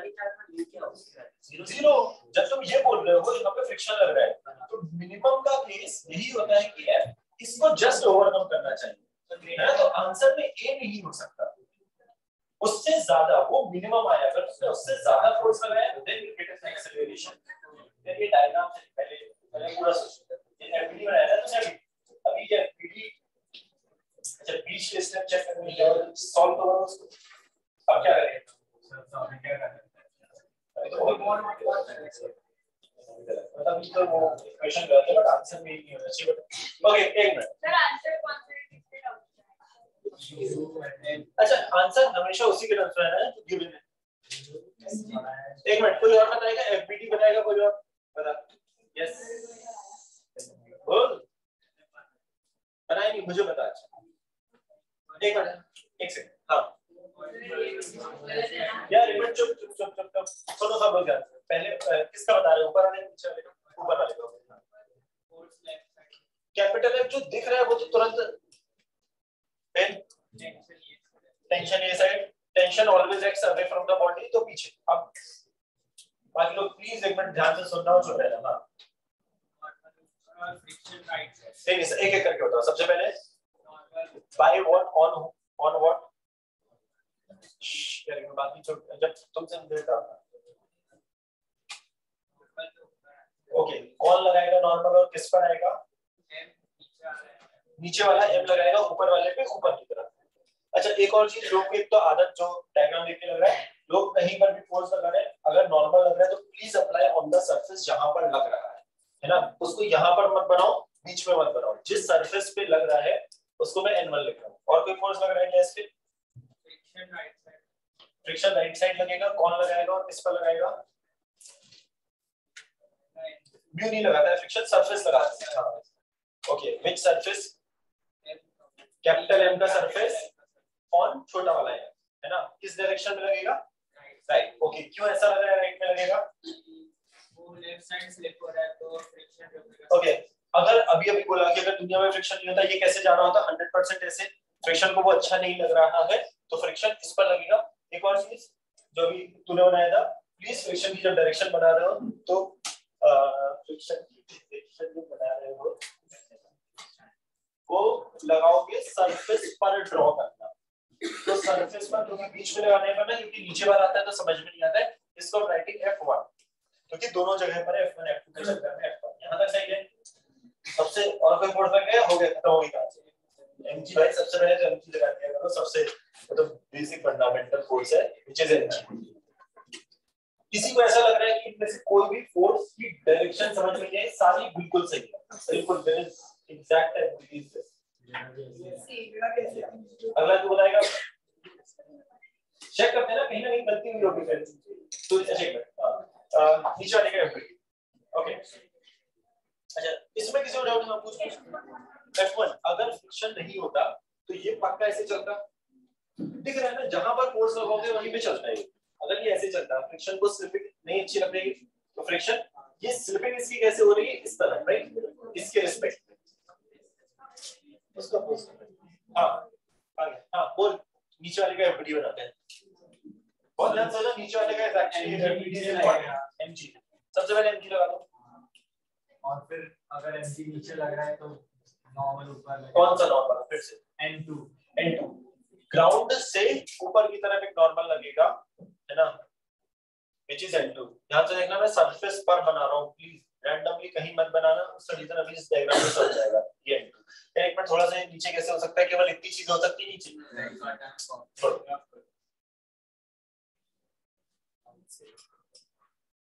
कैपिटल एम एमजी लगाया तूने और एक नॉर्मल लगाया उसको N1 बोल दिया था तो इसको N2 बोलते हैं ओके और बोल और फिर वो स्ट्रिंग ये टेंशन वापस राइट रस्सी इसके लिए यहाँ पर है उससे अवे किसी भी ऑब्जेक्ट के लिए away from the body T यहाँ लगेगा, ये तो सही है। अच्छा एक बार दो तीन लोगों ने ये करा था, मैं वही फिर से रिपीट कर रहा हूँ। इस एफ़ का रिएक्शन पेयर यहाँ पे कुछ नहीं है। वो एफ़ कोई बाहरी इंसान लगा है ना है ना? तो उसका रिएक्शन पेयर उस बाहरी इंसान के अंदर लग रहा होगा। है ना? तो प्लीज़ इस एफ़ का I don't know why you are drawing this इसका यहाँ पर कोई रोल नहीं है। जिस पर वो लग रहा है, वो वहीं पर ही लगा है। सर फिर हम लोग F1 करेंगे because are because of action reaction F1 का action reaction very important very good so इसका जो ये हमने F1 बनाया था ये कौन लगा था? नीचे वाली सरफेस ऊपर वाले पर आगे। तो ऊपर वाली सरफेस नीचे वाले। पर पीछे तो यहाँ पर एक F1 लगेगा। क्या तक सही अगर फ्रिक्शन नहीं होता तो वो ब्लॉक राइट में मूव होता तो इसलिए F2 वेरी गुड अगर नहीं होता तो ये ब्लॉक 100% ऐसे जाता। ग्राउंड को वो अच्छा नहीं लग रहा है तो ground will start applying a friction F2 अच्छा एक चीज़ और ध्यान दो इसीलिए मैंने ये सरफेस पे बनाया है। तो हमें समझ में आ रहा है कि ये वाला जो फोर्स है वो उसका रिएक्शन है इस पर लग रहा है। नीचे ग्राउंड की वजह से पीछे लग रहा है। हाँ और कोई लग रहा है क्या? जल्दी है।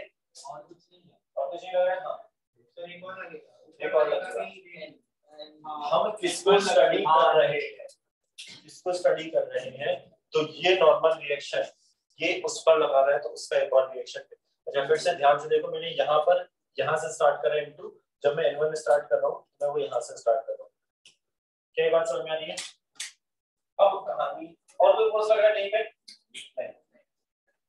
हेलो उठो और बाहर मुँह धो के आओ जल्दी क्लास में सोना है तो बाहर जल्दी उठो, बाहर मुँह धो। के ऐसे नहीं होगा। And if you feeling sleepy go out and come back class में काम मत करो। ये तो इस वाले बगल वाले को नींद आएगी उसके बगल वाले को आएगी वो होता है। प्लीज़ अगर आ रहा है तो अगेन आज to so many times do that मुझे बिल्कुल प्रॉब्लम नहीं। अगर एग्जैक्टली प्रॉपर्ली सुना है देन गो बैक बिल्कुल उसमें भी कोई दिक्कत नहीं। इसमें दिक्कत तुम्हारे वाले कार्यक्रम में दिक्कत ये, थोड़ी देर में सब होने लगेगा ठीक है? अगर if you want you can go take a round come okay यहाँ तक आनी है पक्का? अब जब हम ये बात करते हैं इट इज़ मिनिमम फोर्स जितने जितने फ्रिक्शन लग रहे हैं क्या वो अपने मैक्सिमम वैल्यू पे पहुँच जाएँगे? क्यों?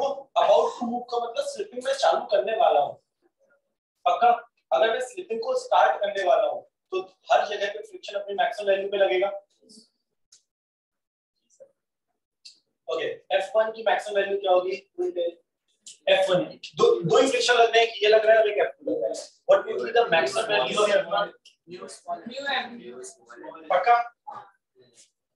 आइडियली म्यू n होनी चाहिए थी और n का काम कौन करता? है n1 है ना? और n1 क्योंकि ये ब्लॉक हमारा ऊपर नीचे मूव नहीं कर रहा है। अच्छा मैं लिख नहीं रहा हूँ क्या सबको ये चीज़ समझ में आने लगी? ऊपर वाला फोर्स बराबर नीचे वाला। n1 की वैल्यू mg हो जाएगी। तो म्यू छोटा mg यहाँ तक सही है? ओके f2 की वैल्यू क्या अच्छा राइटिंग दिस मैक्सिमम वैल्यू जो लगी हुई है mu plus capital u by 2 n1 plus एक मिनट, हाँ।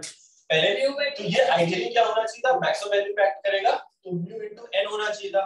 यहाँ पर हमें म्यू दिया गया है इस सरफेस पर म्यू बाय 2 ये प्रॉब्लम में गिवन है और यहाँ पर गिवन है हमारा म्यू तो म्यू बाय 2 इनटू आइडियली यहाँ पर क्या होना चाहिए था? उस जगह पर जो नॉर्मल फ्रिक्शन है मतलब ये वाला कांटेक्ट है व्हिच इज़ n2 क्या नीचे वाला ब्लॉक ऊपर नीचे मूव कर रहा है? ना। तो ऊपर वाले फोर्सेस बराबर नीचे। नीचे कौन से लग रहे हैं? Mg लग रहा है, और एक n1 लग रहा है। क्या हमने n1 निकाल दिया था? तो क्या अब मैं उसको mu n2 लिखना चाहिए था, which is mu by 2 into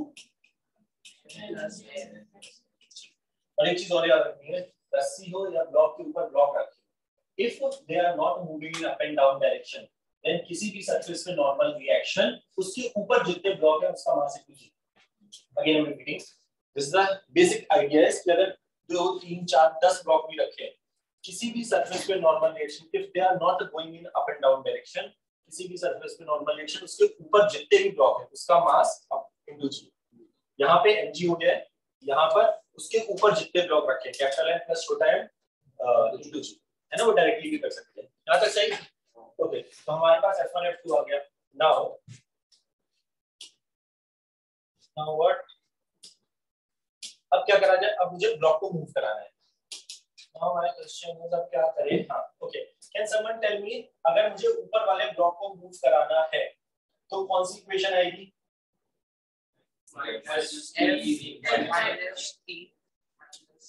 जब हम जस्ट मूव कराते हैं तो मेरे लिए एक्सेलरेशन ज़ीरो अगर लेफ़्ट वाला फोर्स हल्का सा भी ज़्यादा हो जाए राइट में जितने फोर्सेस लग रहे हैं, क्या ऐसे मूव करने लगेगा? अगर किसी एक ब्लॉक में लेफ़्ट में एक फोर्स लग रहा है राइट में दो फोर्स लग रहे हैं। And if I want to move the block in left direction अगर वो राइट वाले दोनों फोर्सेस से हल्का भी ज़्यादा हो जाए, इसके समीशन से तो मूव करेगा। मतलब as soon as f becomes equal to t plus f1 तो हमारा काम हो जाएगा। This is my first equation right so हमारे पास f1 f2 आ चुके हैं। ये आ चुका है, ये आ चुका है। ओके. नीचे वाले ब्लॉक अगर मूव करेगा तो कहाँ मूव करेगा? राइट. तो वो हमारा राइट मूव कराने वाला फोर्स कौन सा है? और वो किससे ज़्यादा हो जाए तो हमारा कम हो जाएगा? सो माइनस अब हमें लिखने की ज़रूरत नहीं है। As soon as limiting case में अगर t हमारा f1 f2 को ओवरकम कर जाए तो ये मूव कर जाएगा। बताओ, क्या ये बात समझ आ रही है? हमें क्या नहीं अच्छा लग रहा है, t मेरे लिए फालतू हमें क्योंकि f से लेना नहीं है। T सब्स्टिट्यूट कर दो। कहीं से कहाँ पे जहाँ से मना है। इससे निकाल के इसमें डाल दो? नहीं सॉरी उल्टा। यहाँ से निकाल के इस पे डाल दो? तो हमारा पहली वाली equation will turn into t is equal to 2f1 क्या हमें f1 f2 दोनों की वैल्यू हमने प्रॉपर्ली निकाल ली है इन द गिवन वैल्यूज़ के टर्म्स में। यस 2f1 लिखो वहाँ पे। 2f1 हो गया 2 म्यू अच्छा छोटा है बड़ा है प्लीज़ ध्यान से लिखना। 2 म्यू mg प्लस 2 g है और कैपिटल M प्लस शूट में राइट तो जो भी कॉमन आ रहा है 2 कॉमन आ रहा है 3 कॉमन आ रहा है सॉरी और कॉमन आ रहा है बस। यहाँ पर बचेगा 2m plus m by 2 plus m by two two M plus M by two हो गया five M by two 5 small m. Plus capital M plus capital M by two by two now you can take it as one whatever क्या सवाल है? Yes logically चीज़ें समझ में आ रही है कि वो फोर्स कैसे लग रहा है how we are applying again बड़े प्रॉब्लम का हमेशा सोचो कि वो कोई एक small part can be asked with जब हमसे कोई बड़ा प्रॉब्लम होता है नीट वालों के लिए कोई छोटा पार्ट इसमें पूछा जा सकता है एडवांस में तो एज इट इज़ पूछा जा सकता है. फॉर श्योर बट वो logically again I am saying please don't get into the idea कि क्या हो रहा है. तुम्हारे लिए मेन कहानी ये बनाना है. कि how we are writing the equations अच्छा एक बार व्हाइल यू आर राइटिंग ना प्लीज़ ट्राई एंड अंडरस्टैंड क्या क्या किया है। तब छापना। है हाँ सब मिनिमम फोर्स के लिए लिए अभी अभी हमने बात करी न्यूटन लॉ जो भी मैं पूछ था, यही वाला। मैं दो केजी का ब्लॉक v वैल्यू दी गई है 0.5 हम कितना फोर्स कम से कम लगाए?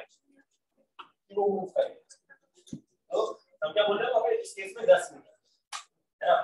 अब अगर मैं 10 से हल्का सा ज़्यादा लगाऊँगा अब वो हल्का क्या होता है इज़ नॉट डिफाइंड और इन जनरल 10.000 जितनी बार तुम लिखते रहो।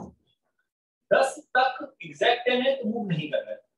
टेन से कितना बड़ा? व्हाट इज़ दैट बड़ा? वो बड़ा नंबर के टर्म्स में जब तक डिफाइन नहीं है, उसका कोई सेंस नहीं। उसको हम प्रैक्टिकली ये बोलते हैं मिनिमम इतना है मतलब इससे जरा सा भी ज़्यादा होगा।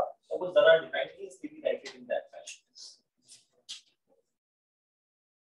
बोलो बोलो बोलो क्या बातें कर रहे हैं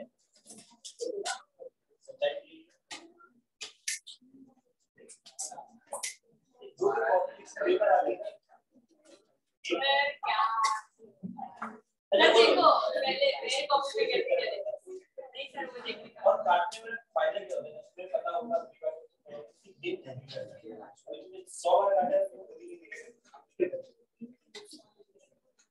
अच्छा मैंने एक मिनट किसी को कोई पार्ट ऐसा समझ नहीं आया समझ में तो आ ही। रहा है होगा कैसे समझ आया अच्छा नॉर्मली क्लास में प्रॉब्लम क्लास में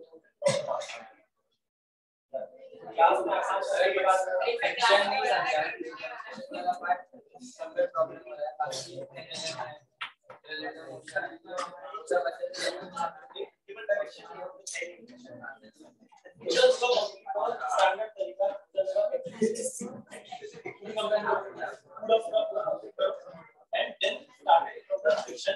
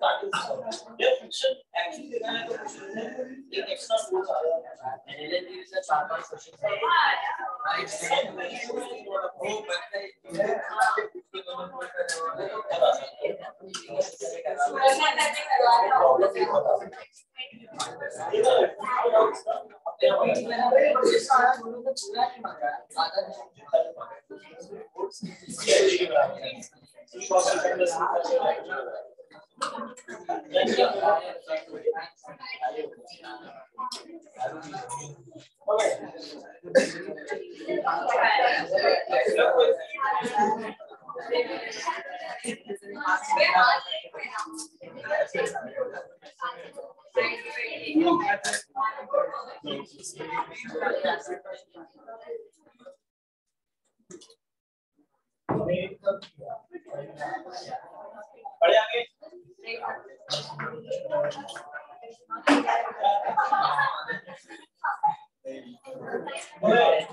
बड़े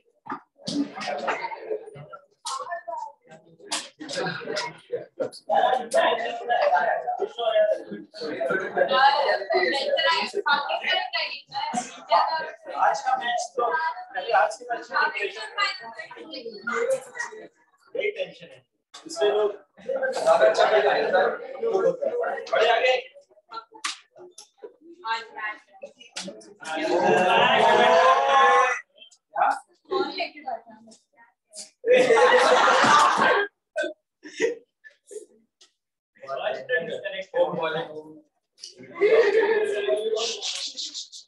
ओके शायद न्यूटन लॉ में प्रॉब्लम करा होगा, शायद ये वाला।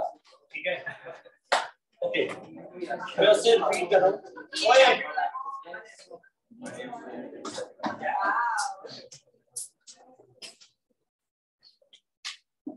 सब लोग इधर बैठते हैं सीधे सीधे। सीधे बैठना। बिल्कुल। Normal with the wall should be zero ठीक है? ओके मैं पूछ अगर एक कैपिटल है अगर ये कैपिटल है होता, और ये छोटू वाला एम होता अगर कुछ नहीं हो रहा होता तो हंड्रेड परसेंट ये छोटा वाला एम नीचे गिरता होता किस एक्सीलरेशन से what is what should be the normal reaction M और छोटे एम के बीच में? अगर कुछ नहीं हो रहा है कोई फोर्स नहीं लगा रहे हैं तो। पक्का? कुछ डाउट इसमें?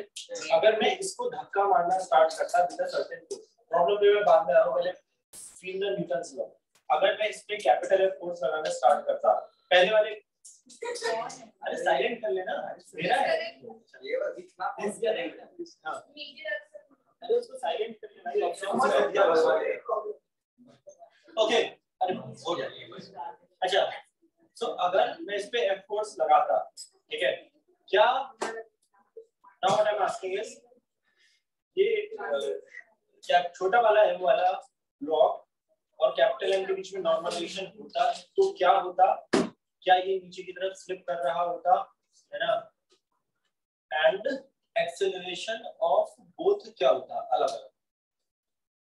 अभी सवाल ये है। पुराना वाला तो बहुत सिंपल था। अब मैंने एक एफ़ फोर्स कांस्टेंट फोर्स लगाना स्टार्ट करा है कैपिटल एम पर।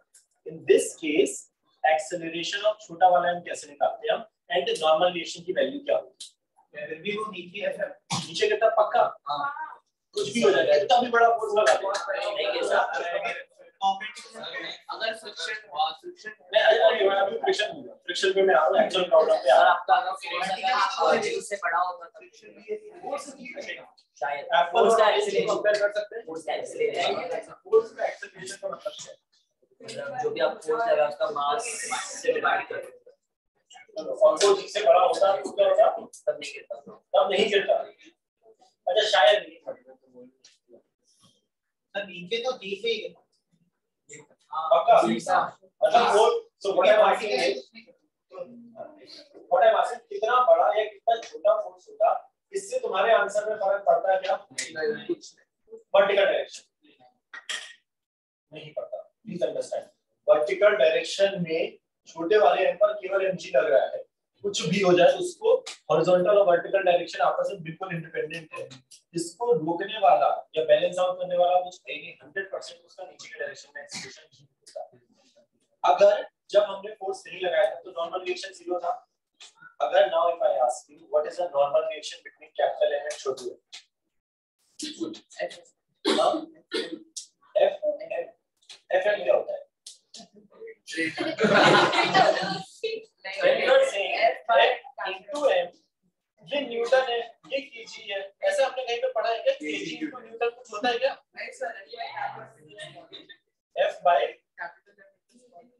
into small m ये तुम नॉर्मल रिएक्शन बता रहे हो। ऐसा हो सकता है। अच्छा एक मिनट। एक और काम। सो नाउ सो है फ्रिक्शन पे बात कर रहे हैं। अगर मैं कैपिटल एफ़ फोर्स लगा रहा हूँ जैसा तुम्हें दिख रहा है आपको अज्यूम ये नीचे नहीं पहुँच रहा है ना इस पेपर के नीचे गिर so what is the normal reaction between capital F and Chhotu F अच्छा लिखो मतलब इतनी तरह प्रॉब्लम हाँ okay so what is the normal reaction between क्योंकि एक्चुअल प्रॉब्लम पे मैं आ रहा हूँ फ्रिक्शन पे आ रहा हूँ। सो बट पहले समझो नॉर्मल रिएक्शन का फोर्स बिटवीन क्या नॉर्मल रिएक्शन होता है ये फील हो रहा है क्या? ये तो फील हो रहा है है ना क्या नॉर्मल रिएक्शन की वैल्यू थी कैसे पता लगे ये अच्छा तुम पेन चला लो शायद एफबीडी बना के तुम्हें दिख जाए। So try to draw the FBD of what छोटा वाला एक बार ये करने की कोशिश करो।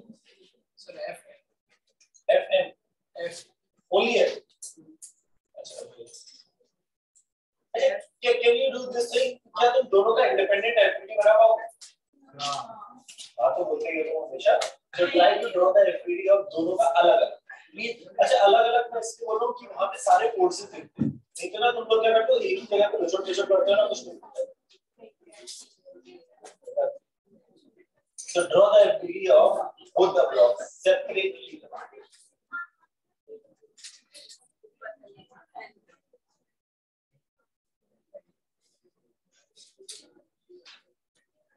अच्छा ये लास्ट पे आज जितने प्रॉब्लम करा रहा हूँ सारे बहुत इंपॉर्टेंट है problem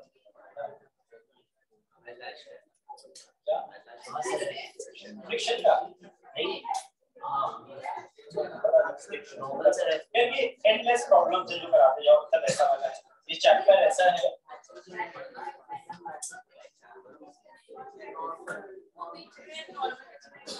so normal of force मतलब 90 normal what is 90 किसका नॉर्मल सरफेस का नॉर्मल जब तू एन बना रही है, क्या ये छोटू ब्लॉक ऊपर कहीं से कांटेक्ट में है क्या? अच्छा एक मिनट ये अगर तुम गलती कर रहे हो ना क्योंकि अभी मुझे गई गलती डोंट डू दिस मिस्टेक यार एक तो ये आदत है तुम्हारी ये प्लीज़ हटा दो। तुमने एमजी बनाया तुमने तुरंत नॉर्मल ऐसे बना दिया। क्या ये वाला ब्लॉक नीचे से या ऊपर से कहीं टच में है है ना? नहीं नहीं अभी जो भी होगा प्लीज़ ये गलती मत करो दिस इज़ वेरी ग्रेट मुझे कांटेक्ट में दिख ही नहीं रहा है। So don't draw this immediately मैंने एमजी बनाया है एमजी बनाया तुरंत मैं नॉर्मल रिएक्शन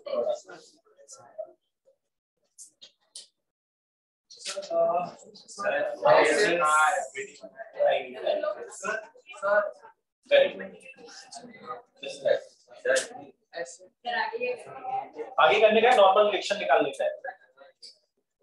क्या नॉर्मल रिएक्शन अब सही। नॉर्मल अच्छा जो छोटा वाला है उस पर क्या मैं ये फोर्स इस पर लगा रहा हूँ क्या? नहीं ना। प्लीज़ अंडरस्टैंड एक लोगों की आदत होती है, क्या फील होता है लोगों सर, उसका इफ़ेक्ट तो जाएगा ना। जो नॉर्मली आदत क्या है ना, या आँखों से क्या दिखता है, अरे सर, ये आगे तो जा रहा होगा रियल ज़िंदगी में होता। वो किसी और चीज़ की वजह से जा रहा है। ये फोर्स इस पर ही लग रहा है, इस पर नहीं लग रहा है। उसका इफ़ेक्ट वो नॉर्मल रिएक्शन लेकर आ रहा है but don't apply that F directly on that क्योंकि वो कोई एक्सटर्नल इंसान धक्का मार रहा है उसका। नहीं अगर एफबीडी से बनाए तो try to find out the normal reaction और अगर ये लग रहा होता तो भी नॉर्मल अभी अभी बात करी थी अगर एफ़ नहीं लग रहा होता आँखों से दिखता तुम्हें शायद वो टच होता हुआ जाए मैं नॉर्मल नहीं लगता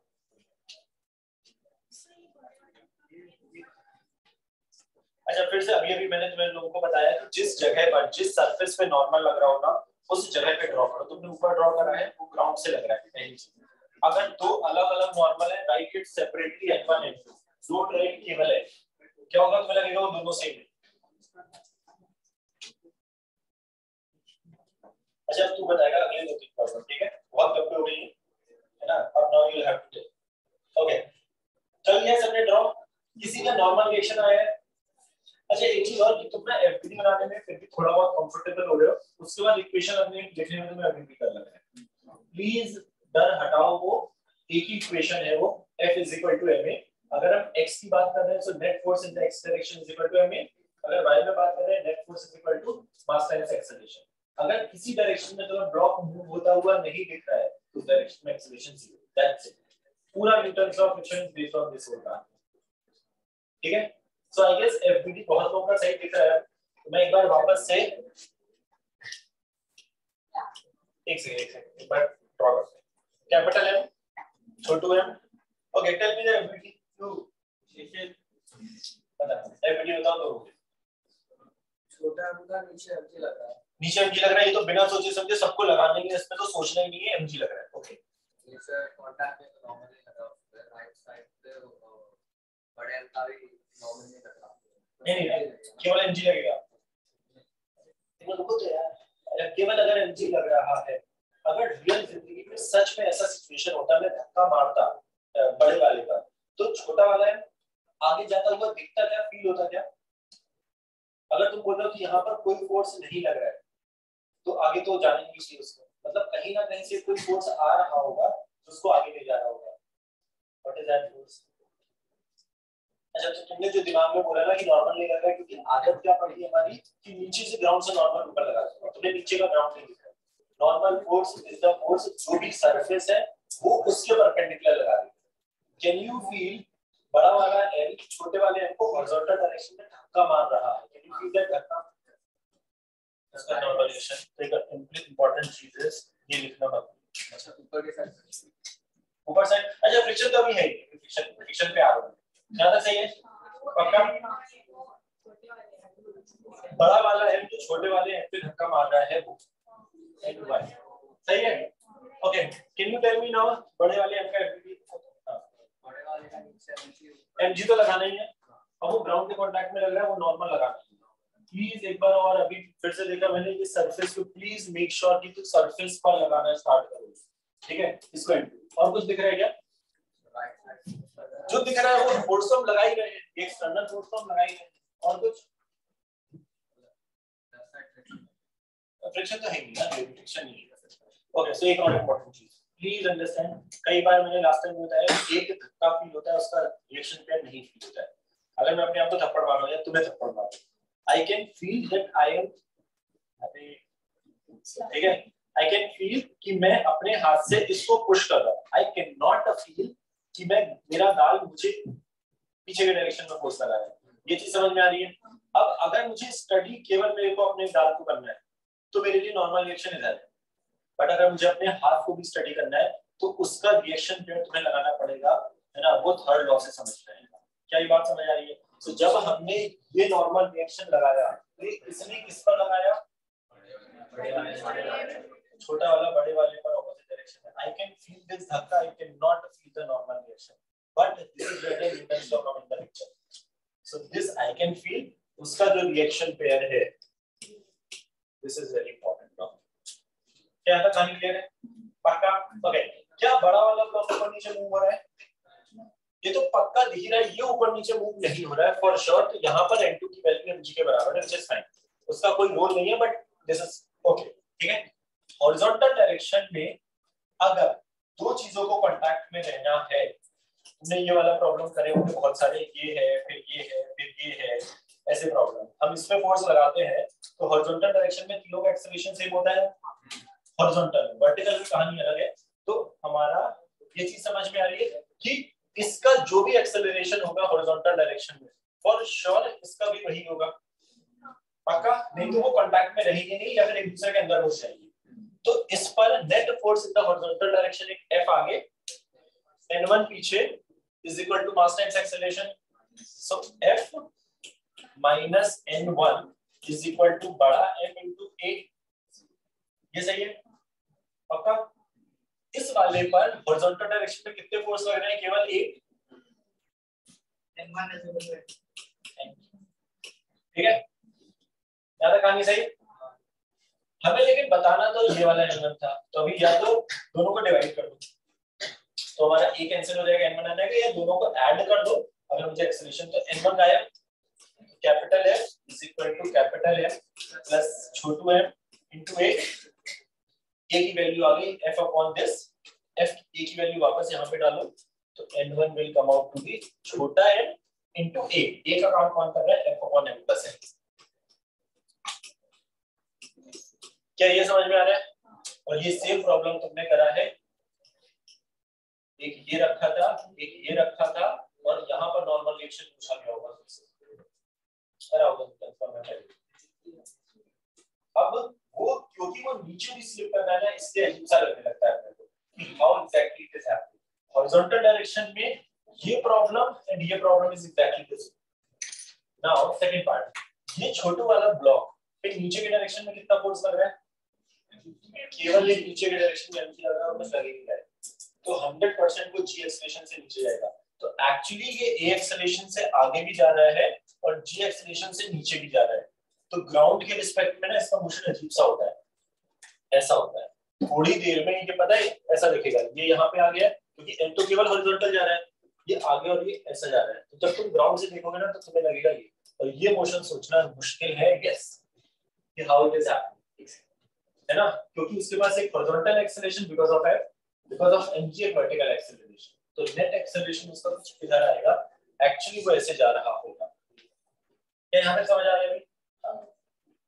n1 से वो f minus n1 छोटा है वो सब उसके आगे ये तो दूसरा वाला है यार। सर एक बार वापस एक क्वेश्चन बनाना छोटा एम आ गया। ये जो इक्वेशन है ये बड़े वाले की है हॉरिजॉन्टल डायरेक्शन बड़े वाले पर एक फोर्स लग रहा है एफ़ आगे। N1 पीछे। Net force is equal to mass times acceleration horizontal direction vertical direction में सॉरी इस वाले पर हॉरिजॉन्टल डायरेक्शन में केवल एक n1 लग रहा है। Net force is equal to उसका छोटे वाले का मास इनटू ए दोनों का ए सेम क्यों लिखा है? क्योंकि उनको कांटेक्ट में रहना है। है ये बात समझ आ रही है? मुझे n1 निकालना था अगर मैं इन दोनों को ऐड कर दूँ। तो f n1 n1 गायब is equal to capital M plus Chhotu m into a ये क्या आ गया? F अपॉन m प्लस इसके एफपीडी में आपने ये तरफ़ का n1 क्यों नहीं बनाया किसके किसके? छोटे वाले वाले बड़े वाला दोनों के। दोनों तरफ़ का n1 क्यों के कौन से दो तरफ़? चलिए अगर छोटे वाले की बात करें यार तो लेफ़्ट वाला n1 आपको लेफ़्ट में सबसे आगे उसके कुछ है क्या? लॉन्ग है ये कितनी जगह पे कांटेक्ट में है वर्टिकल केवल यहीं पे तो कांटेक्ट में है? यहाँ से कांटेक्ट में यहाँ से कांटेक्ट में यहाँ से कांटेक्ट में तो नहीं है ना? तो जिस जगह पर वो कांटेक्ट है वहीं पर तो नॉर्मल रिएक्शन आएगा। नॉर्मल बट इस जगह पे सरफेस क्या ऐसी है ना? और ब्लॉक ऐसा है। कितनी जगह पे कांटेक्ट में? एक ही जगह पर। अगर वो एक ही जगह पे कांटेक्ट में तो नॉर्मल रिएक्शन एक ही आएगा। कहाँ आएगा?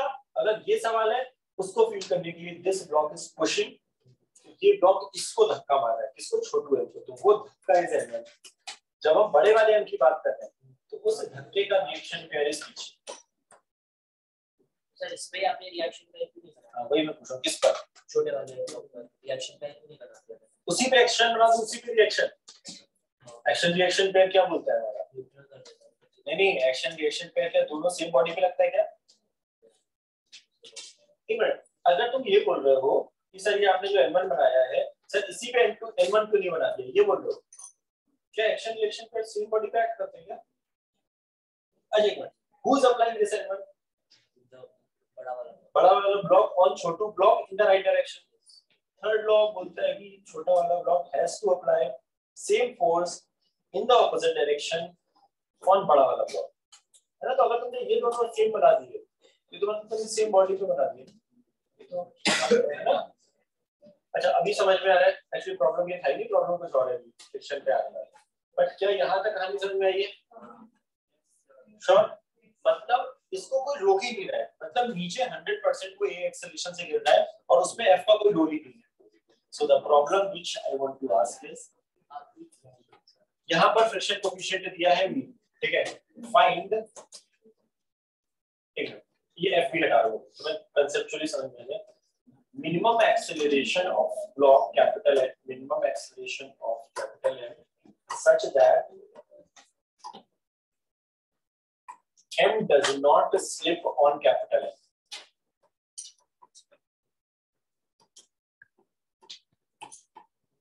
So now question is, same कहानी मैंने F हटा दिया है। हम कैपिटल एम का क्या एक्सेलरेशन दे सच दैट अब ये इस पे स्लिप नहीं करे। अच्छा ये समझ में आया कि ये पक्का स्लिप कर रहा है अदरवाइज़ क्योंकि उसको एमजीओ में बैलेंसिंग करना है।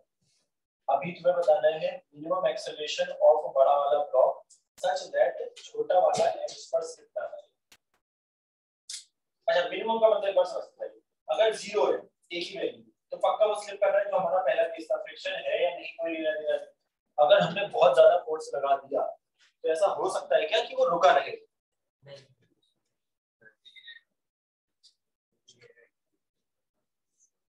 बताओ बताओ बताओ। अच्छा ये समझ में आ रहा है क्या कि एक पॉसिबिलिटी में कोई एक सर्टेन नंबर का अमाउंट का फोर्स लगाऊँ और ये इस पे रुका रहे?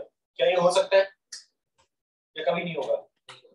कभी नहीं होगा? वो क्योंकि फ्रिक्शन नहीं था अब यहाँ पे फ्रिक्शन आ गया है। अच्छा पहले वाले में फ्रिक्शन नहीं था obviously, है ना? फ्रिक्शन की वजह से। now now now friction is there. अभी तुम्हें ये सोचना है कि किसकी वजह से? Now there is a friction coefficient between capital M and Chhotu m is mu और हमसे पूछा गया ये सवाल। अब सोचो। अब थोड़ा सा सोचना स्टार्ट करो। थोड़ा सा अच्छा again now try to draw the FBD अलग से फिर से। ठीक है? दोनों का एफपीटी अलग से ड्रॉ करने की कोशिश करो। नहीं नहीं अच्छा मैंने पूछा है, अब हमारा एफ़ नहीं है कहीं पिक्चर में। अब टिकट लाइक न्यू प्रॉब्लम है, कुछ तुमने आउट कर दिया। अब मुझे बोला गया है बताओ, इसका एक्सेलरेशन कितना होगा सच दैट एम इस पर स्लिप नहीं करेगा। अभी एफ़ मैंने हटा दिया आएगा वो एफ़ की वजह से ही acceleration now but what I am asking कि इसका एक्सेलरेशन कितना हो सो दैट कि इस पर स्लिप ना करे। मैं पहले ये सब हटा दूँ तो दोनों मिक्स तो सोच, अगर उस एमजी को कोई आके रोक ले, अगर किसी तरीके से, अगर मैं उस एमजी को बैलेंस आउट कर दू तो क्या से मैं रोक सकता हूँ? क्या उस एमजी को बैलेंस करने के लिए, क्या ऐसा कोई है जो आ सकता है? अब वो सोचना। Think about it So, so, so what I'm saying is, please try to draw the FPD, take it like a fresh problem. थोड़ा सा conceptually समझ में आ गया है. हम इसको कितने से मूव कराए so that ये इस पर स्लिप ना करे. फ्रिक्शन को एमजी के बराबर अच्छा तो मैं सोच रहा हूँ आंसर निकालो पूरा. लॉजिक अब पहले आंसर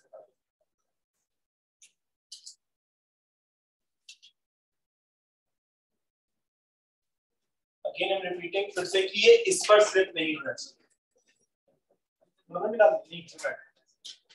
फाइनली हम तक आ गए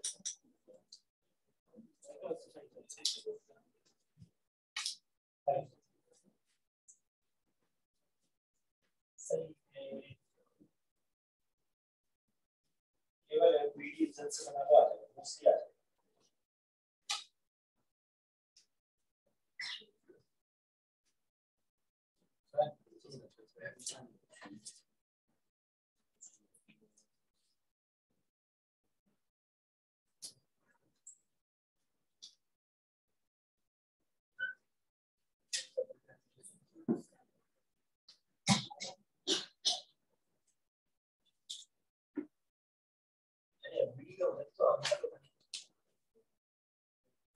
के स्टेप्स कुछ कर देगा एक और दूसरी चीज़ है यहाँ पे एफ़ नहीं कर रहा है यार हटा दिया ना F?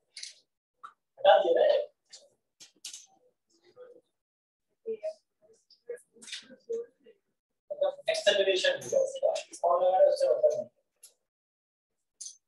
अच्छा छोटी सी हिंट दे रहा हूँ। सिट ऑन कैपिटल सोचने के लिए आसान क्या है? रिलेटिव मोशन तो ऊपर बैठ जाओ ये स्लिप नहीं कर रहा है कैपिटल एम छोटा है। बट क्या वो आगे जा सकता है? यस हमको ये तो बोला है ना कि वो स्लिप ना है ना? और अगर कैपिटल एम आगे जा रहा है तो छोटा वाले उसके साथ तो जाएगा ही नहीं तो उसके अंदर घुस जाएगा। मतलब हॉरिजॉन्टल डायरेक्शन में दोनों का acceleration has to be the same जो अभी प्रॉब्लम किया था, उसमें एक हॉरिजॉन्टल था और एक वर्टिकल भी था। Now what I want is can उसमें स्लिप ना करे। बट उसके साथ जाएगा 100% जाएगा। क्या ये बात समझ में आ रही है? कि 100% both the blocks will इन हॉरिजॉन्टल डायरेक्शन वर्टिकल में क्या होगा तुम्हें वो सोचना है।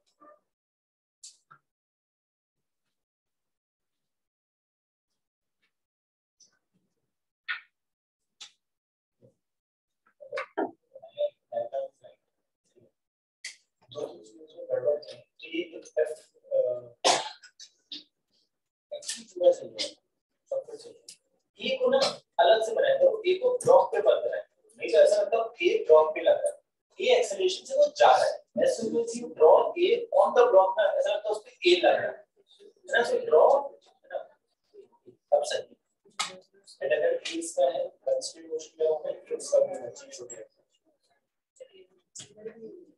लगेगा ना a से जाएगा।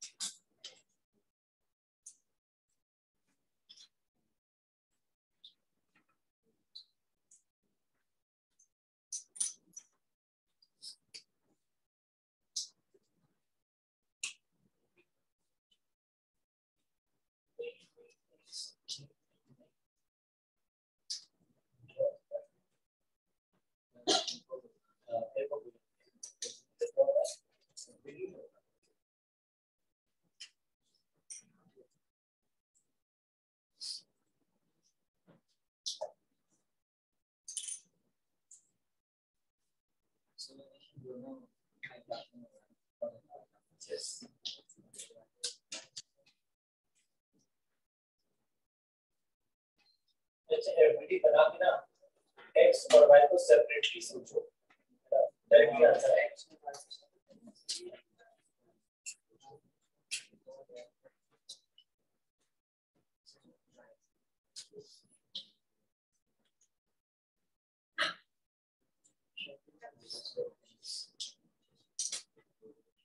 एक एक और मैं बता रहा हूँ दो तीन एग्ज़ाम्पल बेटा मुझे प्लीज़ डोंट अप्लाई एम ये जो ए तो बना रहे तो ना, हमने बोला ए एक्सेलरेशन हमसे F is equal to M A में ए तो फोर्स होता है क्या? तो प्लीज़ जब तुम ए बना देते ना, तुमने ब्लॉक बनाया और उस पे ए बना दिया। ऐसा लग रहा है कि ए का एक फोर्स लग रहा है। तुमने दोनों पर कैपिटल एम और छोटा एम बनाया। ऐसा लग रहा है कि वो फोर्स लग रहा है। ए फोर्स नहीं होता it is a net force is equal to mass times acceleration है ना? जब ए एज अ फोर्स दिखाया जाता है तो वो कहानी होती है सूडो फोर्स अंडरस्टैंड so, अगर वो सूडो फोर्स कब आता है? जब कोई नॉन इनर्शियल फ्रेम हो अच्छा एक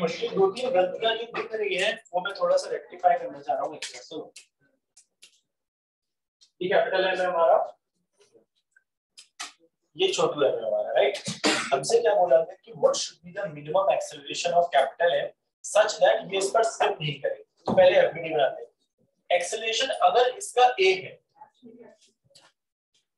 I say horizontal direction में छोटे वाले का expression has to be a आगे नहीं तो क्या होगा उसके अंदर घुस जाएगा या दोनों का कांटेक्ट हो जाएगा। सो प्रैक्टिकली ये समझ में आ रहा है कि दोनों का acceleration has to be a आगे don't write this a either here or don't apply ma here एक चीज़ है क्या ये बात समझ में आ रही है? मैं बोल रहा हूँ एक, दो, तीन चीज़ें जो मुझे दिख रही है, शायद तुमने भी करी होंगी। एक तो तुम ए ब्लॉक पे मत लगाओ। तुम जब ए लिखना चाह रहे हो तो ऊपर या नीचे कहीं पे भी लिखो don't write A like this क्या ये बात समझ में आ रही है? दूसरी चीज़ एम ए ए लिखने का तो कोई सेंस ही नहीं है इस पर, है ना? तो क्योंकि ऐसा लगता है कि ए इस पर लग रहा है। ए तो लगते ही फोर्स लगता है। अगर तुम फोर्स भी लगा रहे हो M A so don't apply like this क्योंकि फिर से वही लग रहा है या इस पर एक एम ए फोर्स लग रहा है। इस पे कोई रियल फोर्सेस लग रहे हैं जिसकी वजह से ये ए एक्सेलरेशन से जा रहा है। एम ए कोई फोर्स जैसा नहीं। क्या ये बात समझ आ रही है? पक्का?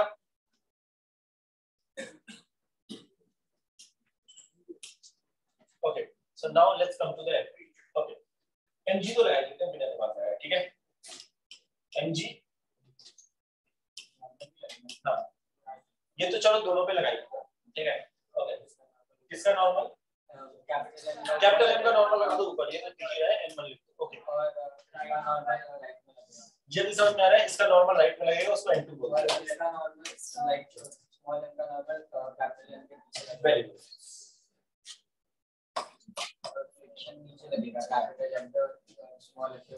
वेरी गुड क्यों? अगर स्लिपिंग नहीं होने देना है, ये जो ब्लॉक है बिकॉज़ ऑफ़ इट्स क्या है इसका नीचे जाने का मन हो रहा है? मतलब और इसकी सरफेस कैसी है? ऐसे वाली। मतलब ये block because of this MG वो नीचे जाने का मन हो रहा है मतलब उसकी स्लिपिंग नीचे की तरफ़ हो रही है विद रिस्पेक्ट टू दिस बड़ा वाला ब्लॉक स्लिपिंग को रोकने के लिए friction will come on this surface ऊपर की तरफ़ सो so दैट वो रोकने की कोशिश करेगा। रुकेगा नहीं, रुकेगा, बात नहीं करना। यहाँ तक सही? अगर इस पे लगाया है तो कहना है सर, उसका रिएक्शन पे है। यहाँ पर नीचे लगेगा। अब बताओ, सारी कहानी अभी क्लियर हो रही है? अभी इक्वेशन बहुत, अगर तुमने दिक्कत होती है एफबीडी बनाने अगर मैंने एफबीडी सही बनाया, हमें क्या बोला गया है कि ये स्लिप नहीं हो रहा है। मतलब इसका वर्टिकल डायरेक्शन में एक्सेलरेशन ज़ीरो है। तो सारे फोर्सेस ऊपर वाले बराबर, नीचे वाले। इस पर ऊपर कितने फोर्सेस लग रहे हैं? नीचे कितने फोर्सेस लग रहे हैं? यहाँ समझ में आ रहा है? ये सही है। फ्रिक्शन अपनी लिमिटिंग वैल्यू पे जब आएगा तो फ्रिक्शन को हम लिख सकते हैं? यहाँ तक सही है। N कौन सा? जो उस सरफेस पे नॉर्मल है, जो हमारे लिए n2 का काम कर है। यहाँ तक सही। ये बात समझ में? फ्रिक्शन की में फ्रिक्शन में v1 में कौन सा n आता है? कोई भी n जिस प्रॉब्लम में लिखा है क्या? नहीं। जिस सरफेस पर फ्रिक्शन लग रहा है, उस जगह पर नॉर्मल रिएक्शन कितना है? यहाँ तक सही। इस ब्लॉक को अगर मैं ध्यान से देखूँ हॉरिजॉन्टल डायरेक्शन में इसमें कितने फोर्सेस लग रहे हैं? कौन कौन? फिर से रिपीट कर रहा हूँ एक्सेलरेशन क्या कोई फोर्स होता है? नहीं। एक्सेलरेशन से ब्लॉक जा रहा है है ना? तो कौन, कितने फोर्सेस लग रहे हैं? सेंटर किस डायरेक्शन में? Net force is equal to mass times acceleration. In horizontal direction, there is only one force और कोई फोर्स लग नहीं रहा है। So, net force is equal to mass और हमें बोला गया वो ज़्यादा है बताओ बस खत्म हो गया प्रॉब्लम कुछ बचा ही नहीं दूसरे ब्लॉक की ज़रूरत ही। नहीं पड़ी इस n2 को यहाँ डालो तो mu n2 की जगह डाल रहा हूँ ma is equal to mg अब अब बता देंगे कि रॉकेट साइंस बोल लो आखिरी लाइन सोचो थोड़ा। अगेन इट्स नॉट अबाउट मुश्किल और इजी अंडरस्टैंड द लॉजिक अच्छा प्लीज़ ये एक बार वापस रिपीट करो, बहुत जगह मैं देख रहा हूँ कि एमए लगाना या ए लगाना, है ना? जब उसको एमए को कोड से ट्रीट करना जब very wrong n2 is equal to mx इस एंटी की वैल्यू ध्यान रखना This is one of the equations. This is the second equation.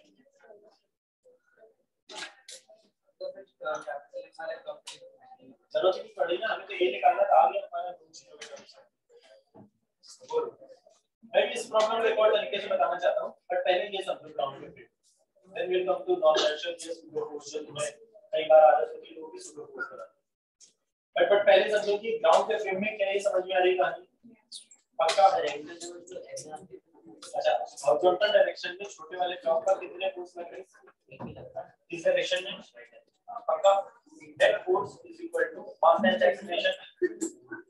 छोटा वाला ब्लॉक सर आपने एचपीडी में उसको बनाना बना दिया। क्या? F a नहीं बनाना है? अच्छा f is equal to ma में ma कोई फोर्स होता है? जो फोर्स लगते हैं वो रियल फोर्स है। फिर से रिपीट करो। कितने कितने रियल फोर्सेस पड़े मुझे नाम बताओ एक रियल फोर्सेस मतलब? एक्सटर्नल एक फोर्स है। नॉर्मल नॉर्मल एनर्जी होता है।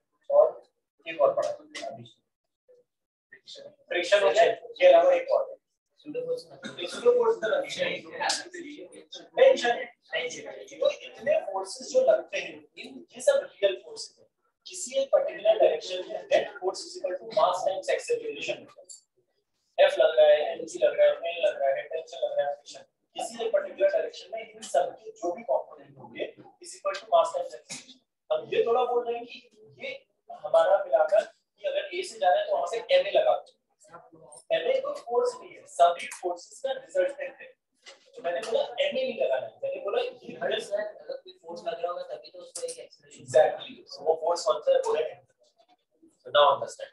तो n a जब तुम लगाते हो ना ब्लॉक पर fbd का मतलब क्या है? फ्री बॉडी डायग्राम उसका मतलब क्या है? कि उसको बाकी जितनी भी जगह पे वो कांटेक्ट है उससे फ्री करो फ्री बॉडी डायग्राम और रियल फोर्सेस ड्रॉ करो।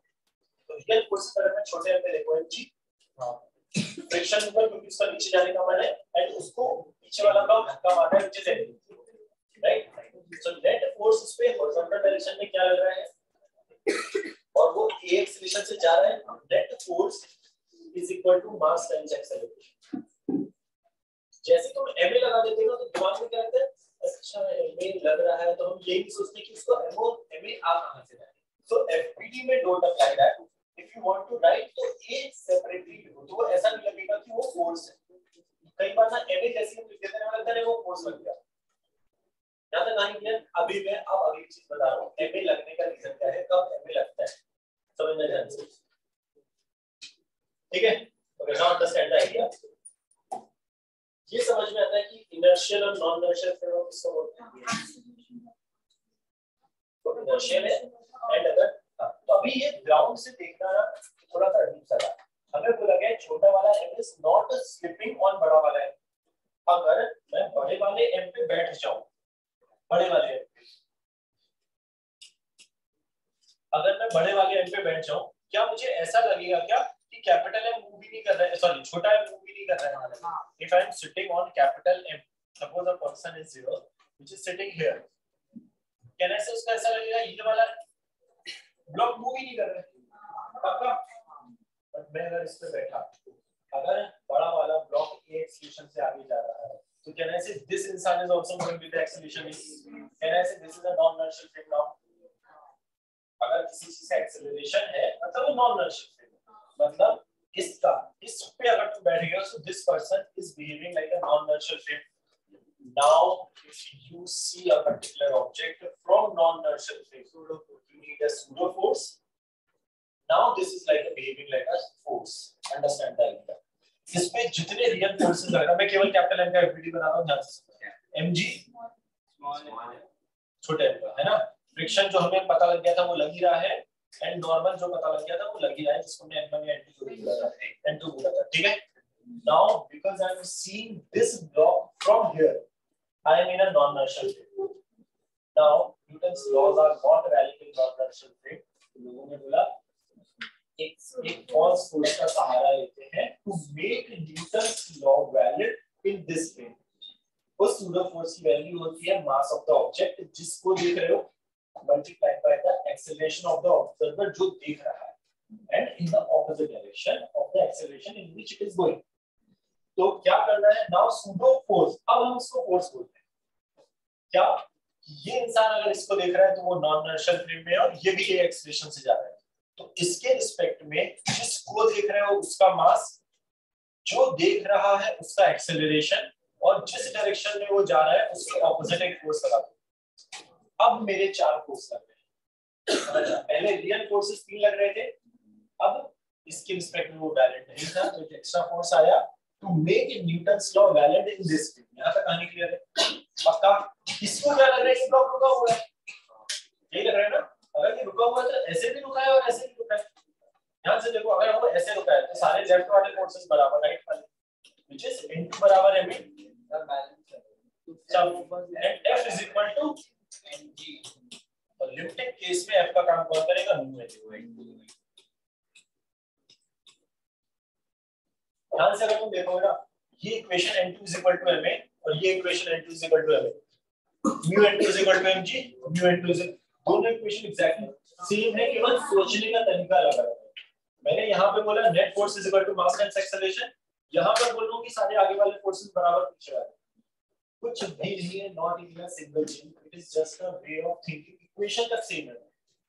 केवल वो सोचने का एक थॉट इज़ डिफरेंट कि हम यहाँ पर net force is equal to M बोल रहे थे, यहाँ पर नेट हॉरिजॉन्टल डायरेक्शन के फोर्सेस को बैलेंस कर अरे, है? शरीर यही और चीज़ें। ओके हाँ। क्या ये समझ में आ रहा है? सो सुडो फोर्स का सहारा क्यों लेते हैं क्योंकि कई बार हमें चीज़ें थोड़ा सा आसान दिखती है। मतलब इस पे बैठने पर मुझे लग रहा है ये रुका हुआ है।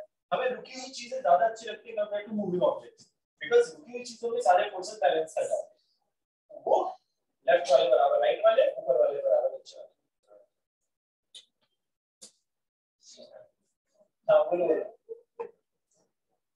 ऐसे तो दो दिया था मेरी क्लास में। आपसे निकाला था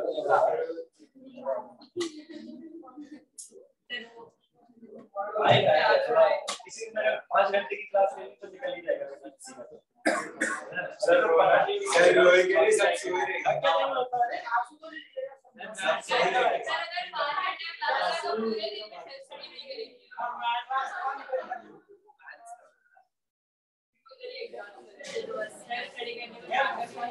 बाकी दोनों सब्जेक्ट जो है ना प्रॉब्लम यही है केमिस्ट्री और मैथ या इवन बायो है ना उसमें कम दिमाग लगाओ ना चल जाता है काम हाँ स्टैंडर्ड प्रॉब्लम है ना वो बैकग्राउंड चीज़ें याद कर लेते हैं किसी तरीके से सॉल्व इसको ऐसे ही करना स्ट्रक्चर है ना बहुत बहुत बार होता है जैसे आप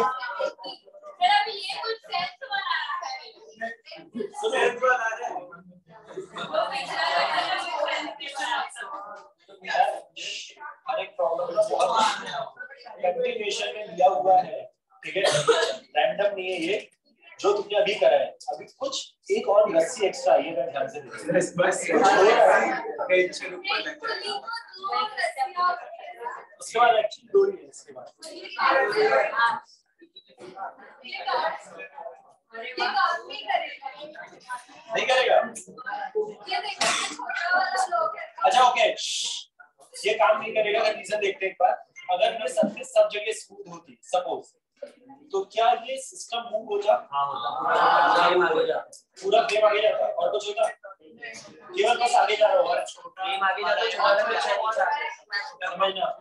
ओए सुनो अगर नहीं होता तो अच्छा ये फील करना है ऐसे तो। ठीक है अगर नहीं होता ये आगे जाता रस्सी स्लैब बड़ा वाला इधर जाता और रस्सी ढीली हो रही होती। अगर मैं थोड़ा सा इसको आगे मिलाऊं तो इतनी रस्सी ऐसे ढीली हो हाँ। उसको टाइट करने के लिए नीचे भी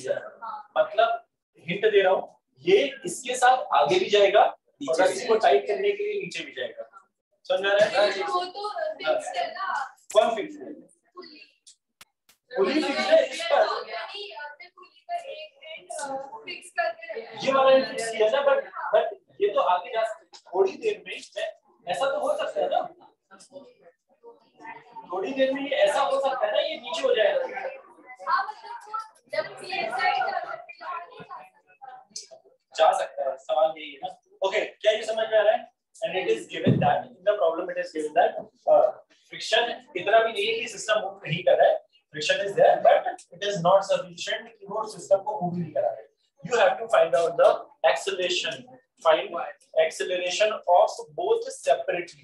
से एक्सलेशन ऑफ़ कैपिटल एम अब ये मतलब कुछ ऐसा हो रहा होगा दोनों का एक्सलेशन अलग अलग हो रहा होगा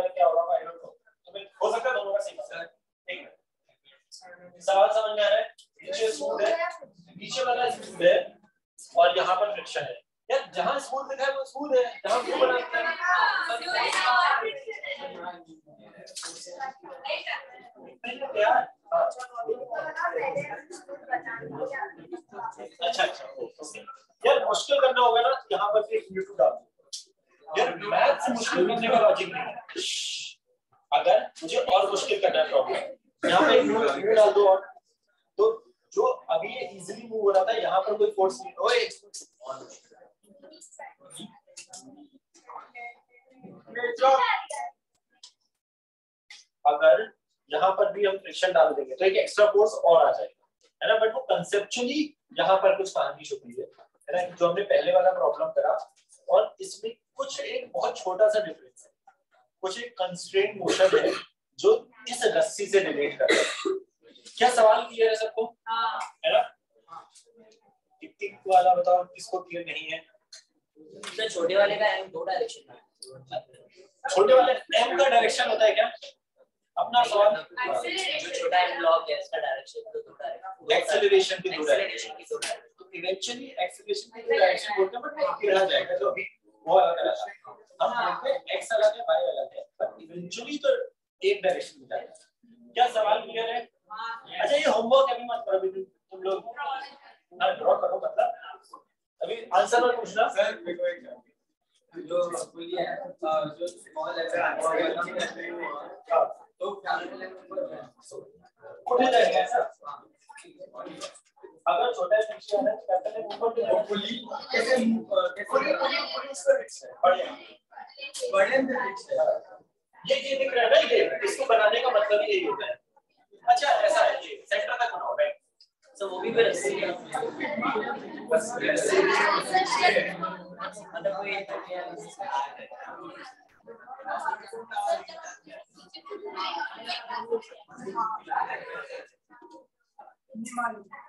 ओके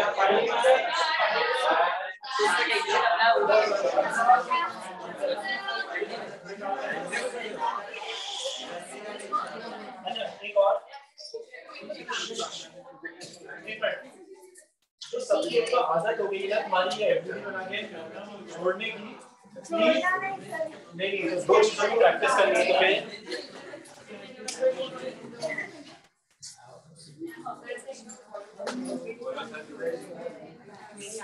जब देख लिया करूँगा तब तो बिल्कुल मुँह बंद कर लिया ठीक है तेरे से बोल रहा दो चीज़ें करनी है प्लीज़ जिसने न्यूटन का बिल्कुल कुछ भी सॉल्व नहीं करा है please please start problems of SC Verma है ना? यार एक्चुअली सही बताऊँ तो प्रॉब्लम बहुत ज़्यादा है इसमें आई गेस 20 25 या 30 प्रॉब्लम है ना? अभी आज है थर्सडे तुम्हारी अर्लीस्ट क्लास होगी तो ऑन मंडे हो। ठीक है? You good amount of time so केवल ये दो चैप्टर्स कंप्लीट करने की कोशिश करो। अगर तुम्हें लग रहा है कंसेप्चुअल चीज़ों में कुछ गड़बड़ है then solve objective of SC very important अगर तुम्हें लग रहा है कंसेप्टिव मुझे भूल गया हूँ या याद नहीं आ रहा है सॉल्व फ़र्स्ट एससी वर्मा के ऑब्जेक्टिव है ना? Both one into both solve few problems of SC exercise then come to friction जितने प्रॉब्लम आज कर रहे हैं बहुत इंपॉर्टेंट कंसेप्चुअल प्रॉब्लम्स है। बिना देखे उसको वापस से तुम्हें अलग से रफ में whatever सॉल्व करना चेक द आंसर ठीक है? ये प्रॉब्लम है है ना? ट्राई इट आउट करते हैं।